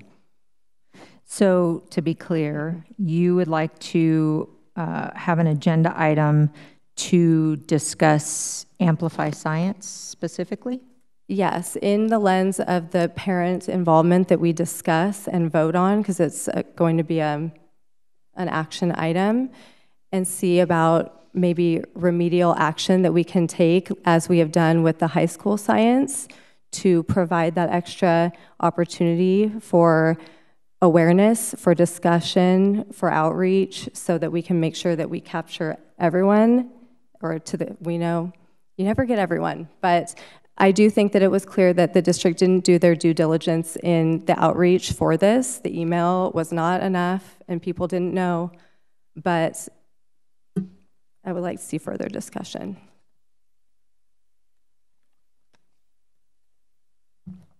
I want to be clear. Are there questions? Because I'm not sure I'm fully clear. So, I, to be clear, it's to, I don't know if we would need to vote on it or if it would be a discussion. I think when we're looking at this curriculum, whether it's the national, whether it's everything, you know, I think we clearly have options there. That has been discussed. I imagine there's some kind of time frame. And we have taken very rapid action to get more outreach for high school. So if that's something that we decide is appropriate, would we have the option to vote on it? I would think that that would be appropriate as an action item. So it sounds like, I'm sorry, did you want to ask? It sounds like you're, um, you are talking about discussing parent involvement, which is already on the agenda. So I'm having a hard time separating what's Because different. to look at it in regards to amplify, to look at it and say, okay, we need more parent involvement. This is the system. The teachers and the community operated under the system. It wasn't adequate. Can we make it right to still move forward with this curriculum in some capacity, whether it be modified, whether it be directly as recommended, given that discussion on parent involvement and ways to achieve it? I'll jump in on this. Um, Michelle, I appreciate you putting forth. What I'm hearing is that you would like to revisit a vote on Amplify in specific. Um, and I, I do feel that my comments that evening were very clear um, for a variety of concerns regarding specifically Amplify. Um, I, I don't see it as um, a request I support to revisit specifically Amplified. I'm very open to looking at the other 12 to 15 curriculums that were mentioned to us. Um, this was not a surprise. These are actually conversations that we've been having for two years, uh, multiple members of this board, conversations we've had with administration. Um, when this first hit the table, it was conversations in the information session of concerns about lack of parent involvement. Um, and specifically, there was conversation that evening quite extensively about um, elementary, um, that some of us board members, I'll speak for myself, uh, do view, view processes different for elementary and secondary, and that conversation was handled during both agenda items last meeting. Um, and then specifically, I had shared that I had heard many negative concerns and comments from the community, specifically regarding Amplify. So that night, I made a decision uh, that I was very clear about that I was concerned with Amplify in specific. In addition, I was concerned to parents being included in the process. They were two concerns I had. And so I will just be fully outright honest. Um, I do not support personally it being brought back for a vote. However, I'm willing to look at the other 12 to 15 curriculums. Thank you. So if, if this has been a discussion for two years, then why did we allow the teachers to resume this and spend all the time and effort? This. So I, I actually will speak on that, even though it wasn't, I didn't bring it up. It wasn't the curriculum that was a discussion. It was this, the members of this board have been saying since elected, I, parent involvement needed to be top priority. It wasn't the curriculum that was discussed for two years. But just uh, parent involvement is a priority, but is it top priority when we're 15 years overdue on this? And the the public is asking for clarity on why Amplify was rejected. And if we're going to be discussing and creating new parameters for parent involvement next time, why didn't we just table it, like you said, and talk about it after we come up with a system? That was appropriate. That was appropriate. With all due respect, Amplify was not on the agenda for this evening. Therefore, it's inappropriate for us to have extended conversations about Amplify when members of the community were not notified of that. A request has been made to add an agenda item. If there's a second, let's address that. That would be my request as a board member.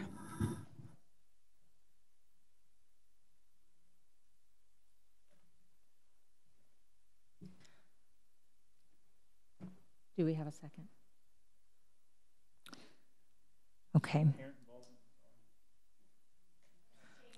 In the absence of a second, we will um, move on.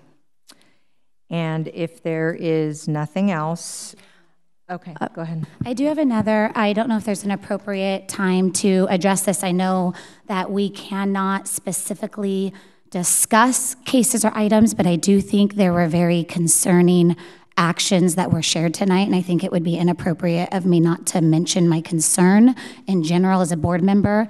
Um, I know our district is um, very concerned about the safety of our students. Um, and so, again, I understand that I cannot engage fully on those items, um, but I can't leave tonight without at least making a comment um, that I, am looking, I guess, for direction from you, Superintendent Stock, of what we can and cannot do regarding the very serious concerns that were shared tonight. Uh, Trustee Sadoff, I, I, appreciate you expressing concern. I, I know it was, it was felt by everyone in the room that listened to the comments uh, tonight. Um, what what we will I will be working with um, uh, staff tomorrow morning first thing to um, do uh, more review of some of the issues have been brought to light and been investigated along with law enforcement. But there, uh, from my understanding, there's been some new allegations that, that surfaced this evening that that will absolutely look into. In addition to just looking into the individual accusations and ensuring supports provided to students um, who, who clearly, um, you know, uh, you know, should have that support, is we'll also be working to take a look at how do we uh, address these issues, uh, providing not just in consequences, but also training and also in um, ways we look at the whole uh, support uh, related to any of these types of issues within our athletic programs and cultures in our schools because whether individual accusations, you know, we'll deal with the consequences that are appropriate or not through investigations.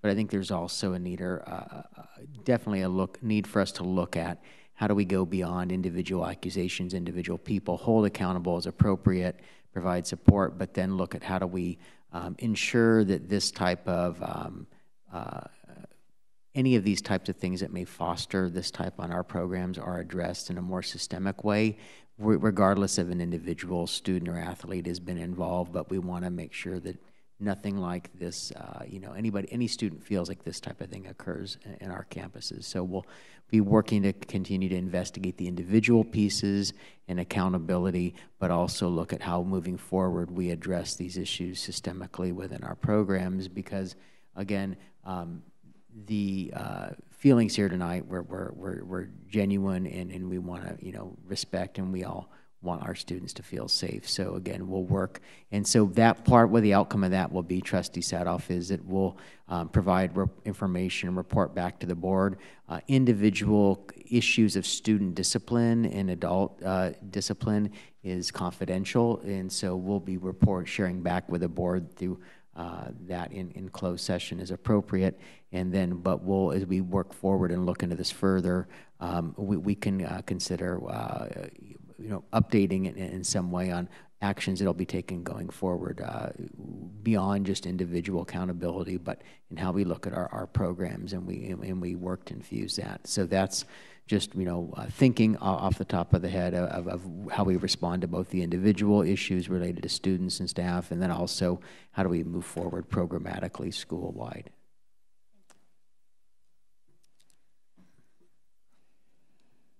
All right. This meeting is now adjourned to closed session.